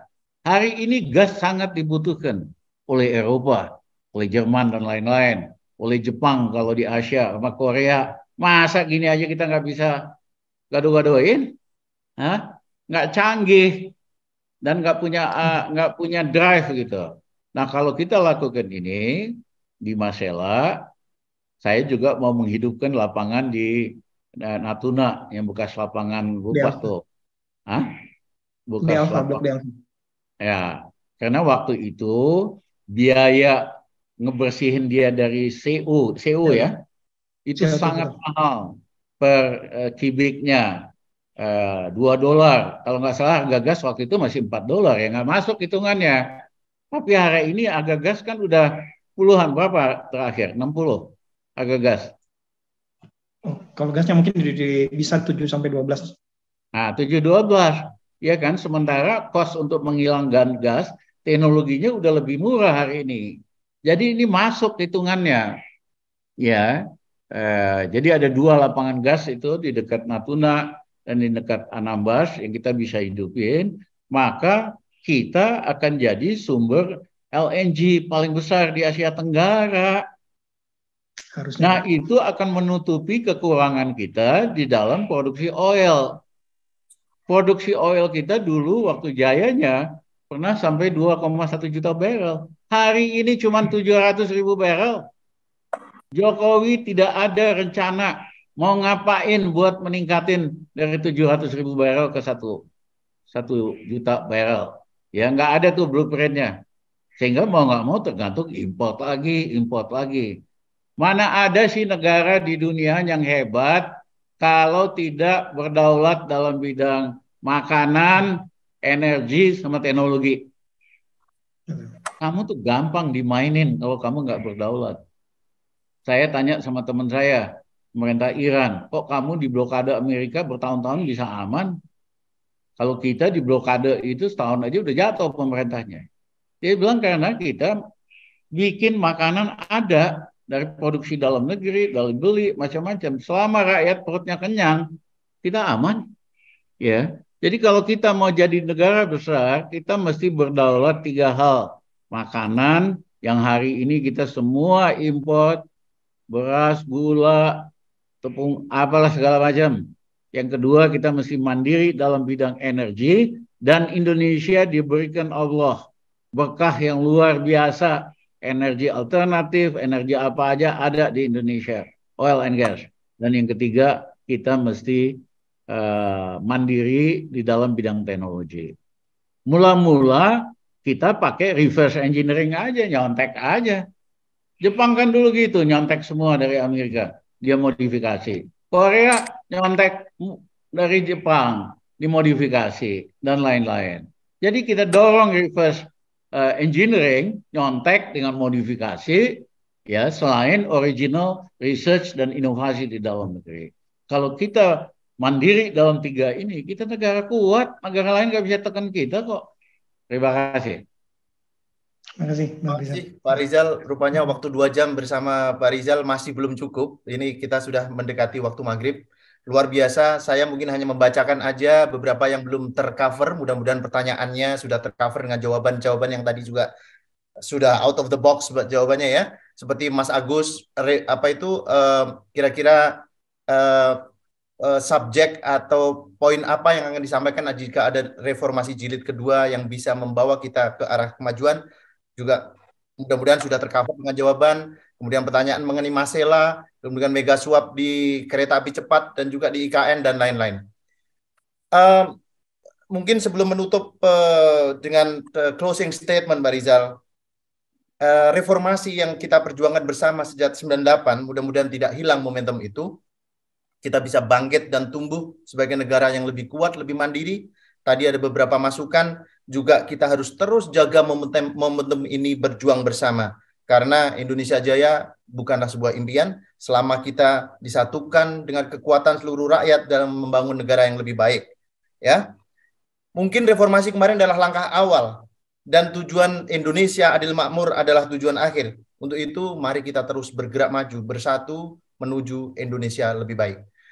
Saya tutup acara ini, mungkin Bang Rizal uh, mau memberikan statement, closing statement secara singkat untuk teman-teman di Doha dan yang masih hadir sama saya ini. Kita berikan applause semuanya dan mudah-mudahan kita diberikan kekuatan untuk terus bisa membantu agar Indonesia adil dan makmur bisa tercapai. Silakan Bang Rizal untuk memberikan closing statement secara singkat. Mas Susilo, teman-teman di Qatar, kita punya harapan dan bisa menjadi negara makmur dan besar di Asia. Sumber daya alamnya luar biasa. Ya, saya pernah sampaikan, kenapa sih di Qatar ya sekolah gratis, macam-macam rakyatnya bisa dapat gratis. Kenapa? Karena sumber daya alamnya dikelola oleh negara memang mohon maaf. Sebagian besar manfaatnya itu dinikmati oleh ruling elite lah ya kan keluarga raja. Tapi rakyatnya biasa juga dapat. Ya di Norwegia kenapa sih kemakmurannya rakyatnya paling tinggi sosial sistemnya paling bagus? Karena sumber daya alamnya dikuasai oleh negara. Manfaatnya untuk rakyat. Itulah ketika pendiri Republik Indonesia bangun cita-cita republik, dia pengen sumber daya alam itu milik rakyat, dikelola oleh negara, eh dikuasain oleh negara, dikelola boleh oleh swasta asing sama domestik. Dia nggak mau sistem kapitalistik sumber negara dikuasain oleh asing. Nah, pada zaman Orba, zaman Pak Harto, pernah 85% dari APBN Indonesia itu dari oil doang. Memang oil naik dari 2 dolar sampai 60 dolar, 70 dolar. Itulah Pak Harto membiayain program-program puskesmas, EDI, impres, jalan-jalan, dan sebagainya, dan sebagainya. Tapi belakangan sumber daya alam mineral seolah-olah milik swasta. Padahal itu milik rakyat berdasarkan Undang-Undang Dasar 45. Nah, seandainya nanti kita benahin, kayak di oil lah. Oil kan sederhana. Setelah biaya-biaya dikurangi, untungnya kan bagi. Swastanya dapat 15 persen, negara dapat 85 persen. Mungkin buat menarik investasi kita mesti ubah dikit lah, naikin yang swastanya supaya banyak oil recovery. Nah, tetapi itu juga bisa berlaku di sektor mineral, batu bara, nikel, emas, ya production sharing. Setelah ongkos-ongkos, swastanya kasih lah 30 persen, ya, atau berapa, sisanya negara. Nah, Mas Susilo, kalau itu dilakukan, Republik Indonesia akan sangat kaya raya. Kita bisa nyekolahkan anak-anak kita sampai gratis, sampai universitas kita bisa istilahnya itu nggak ngutang lagi dan sebagainya. Tapi kita ini ditipu kalangan intelektualnya seolah-olah yang benar ini ini. Mereka lupa prinsip pasal 33 Undang-Undang Dasar 45. Yaitu kekayaan alam milik rakyat dikuasain oleh negara, dikelola oleh swasta asing maupun domestik. Kalau kita ini kan kembali, ini terobosan yang besar kita banyak uang untuk memajukan rakyat dan bangsa kita. Jadi saya challenge, saya beruntung banyak teman-teman ITB dan Indonesia yang kerja di Qatar Oil Gas pada waktunya Indonesia kita panggil kamu ke Indonesia dengan salary yang juga nggak mungkin lebih rendah karena kita mau bangun sektor LNG dan gas paling besar di Asia Tenggara. Terima kasih. Terima kasih, terima kasih appreciate yang setinggi-tingginya untuk Pak Rizal karena di Jakarta udah exactly nih jam 10 malam. Selamat istirahat Bang Rizal, mudah-mudahan diberikan kesehatan terus untuk mengawal Indonesia maju menuju adil dan makmur bersama pemerintahan yang baru nanti kita harapkan bersama. Tolong teman-teman yang hadir di sini, uh, saya harapkan setidaknya orang yang terdekat untuk dikasih pencerahan bahwa Indonesia bisa lebih baik dengan memimpin, dengan dipimpin oleh orang yang tepat. Akhirul kalam, kalau ada salah mohon maaf. Bilahi taufik wal hidayah. Wassalamualaikum warahmatullahi wabarakatuh. Salam Indonesia Jaya. Terima kasih. Assalamualaikum. Terima kasih. Terima kasih.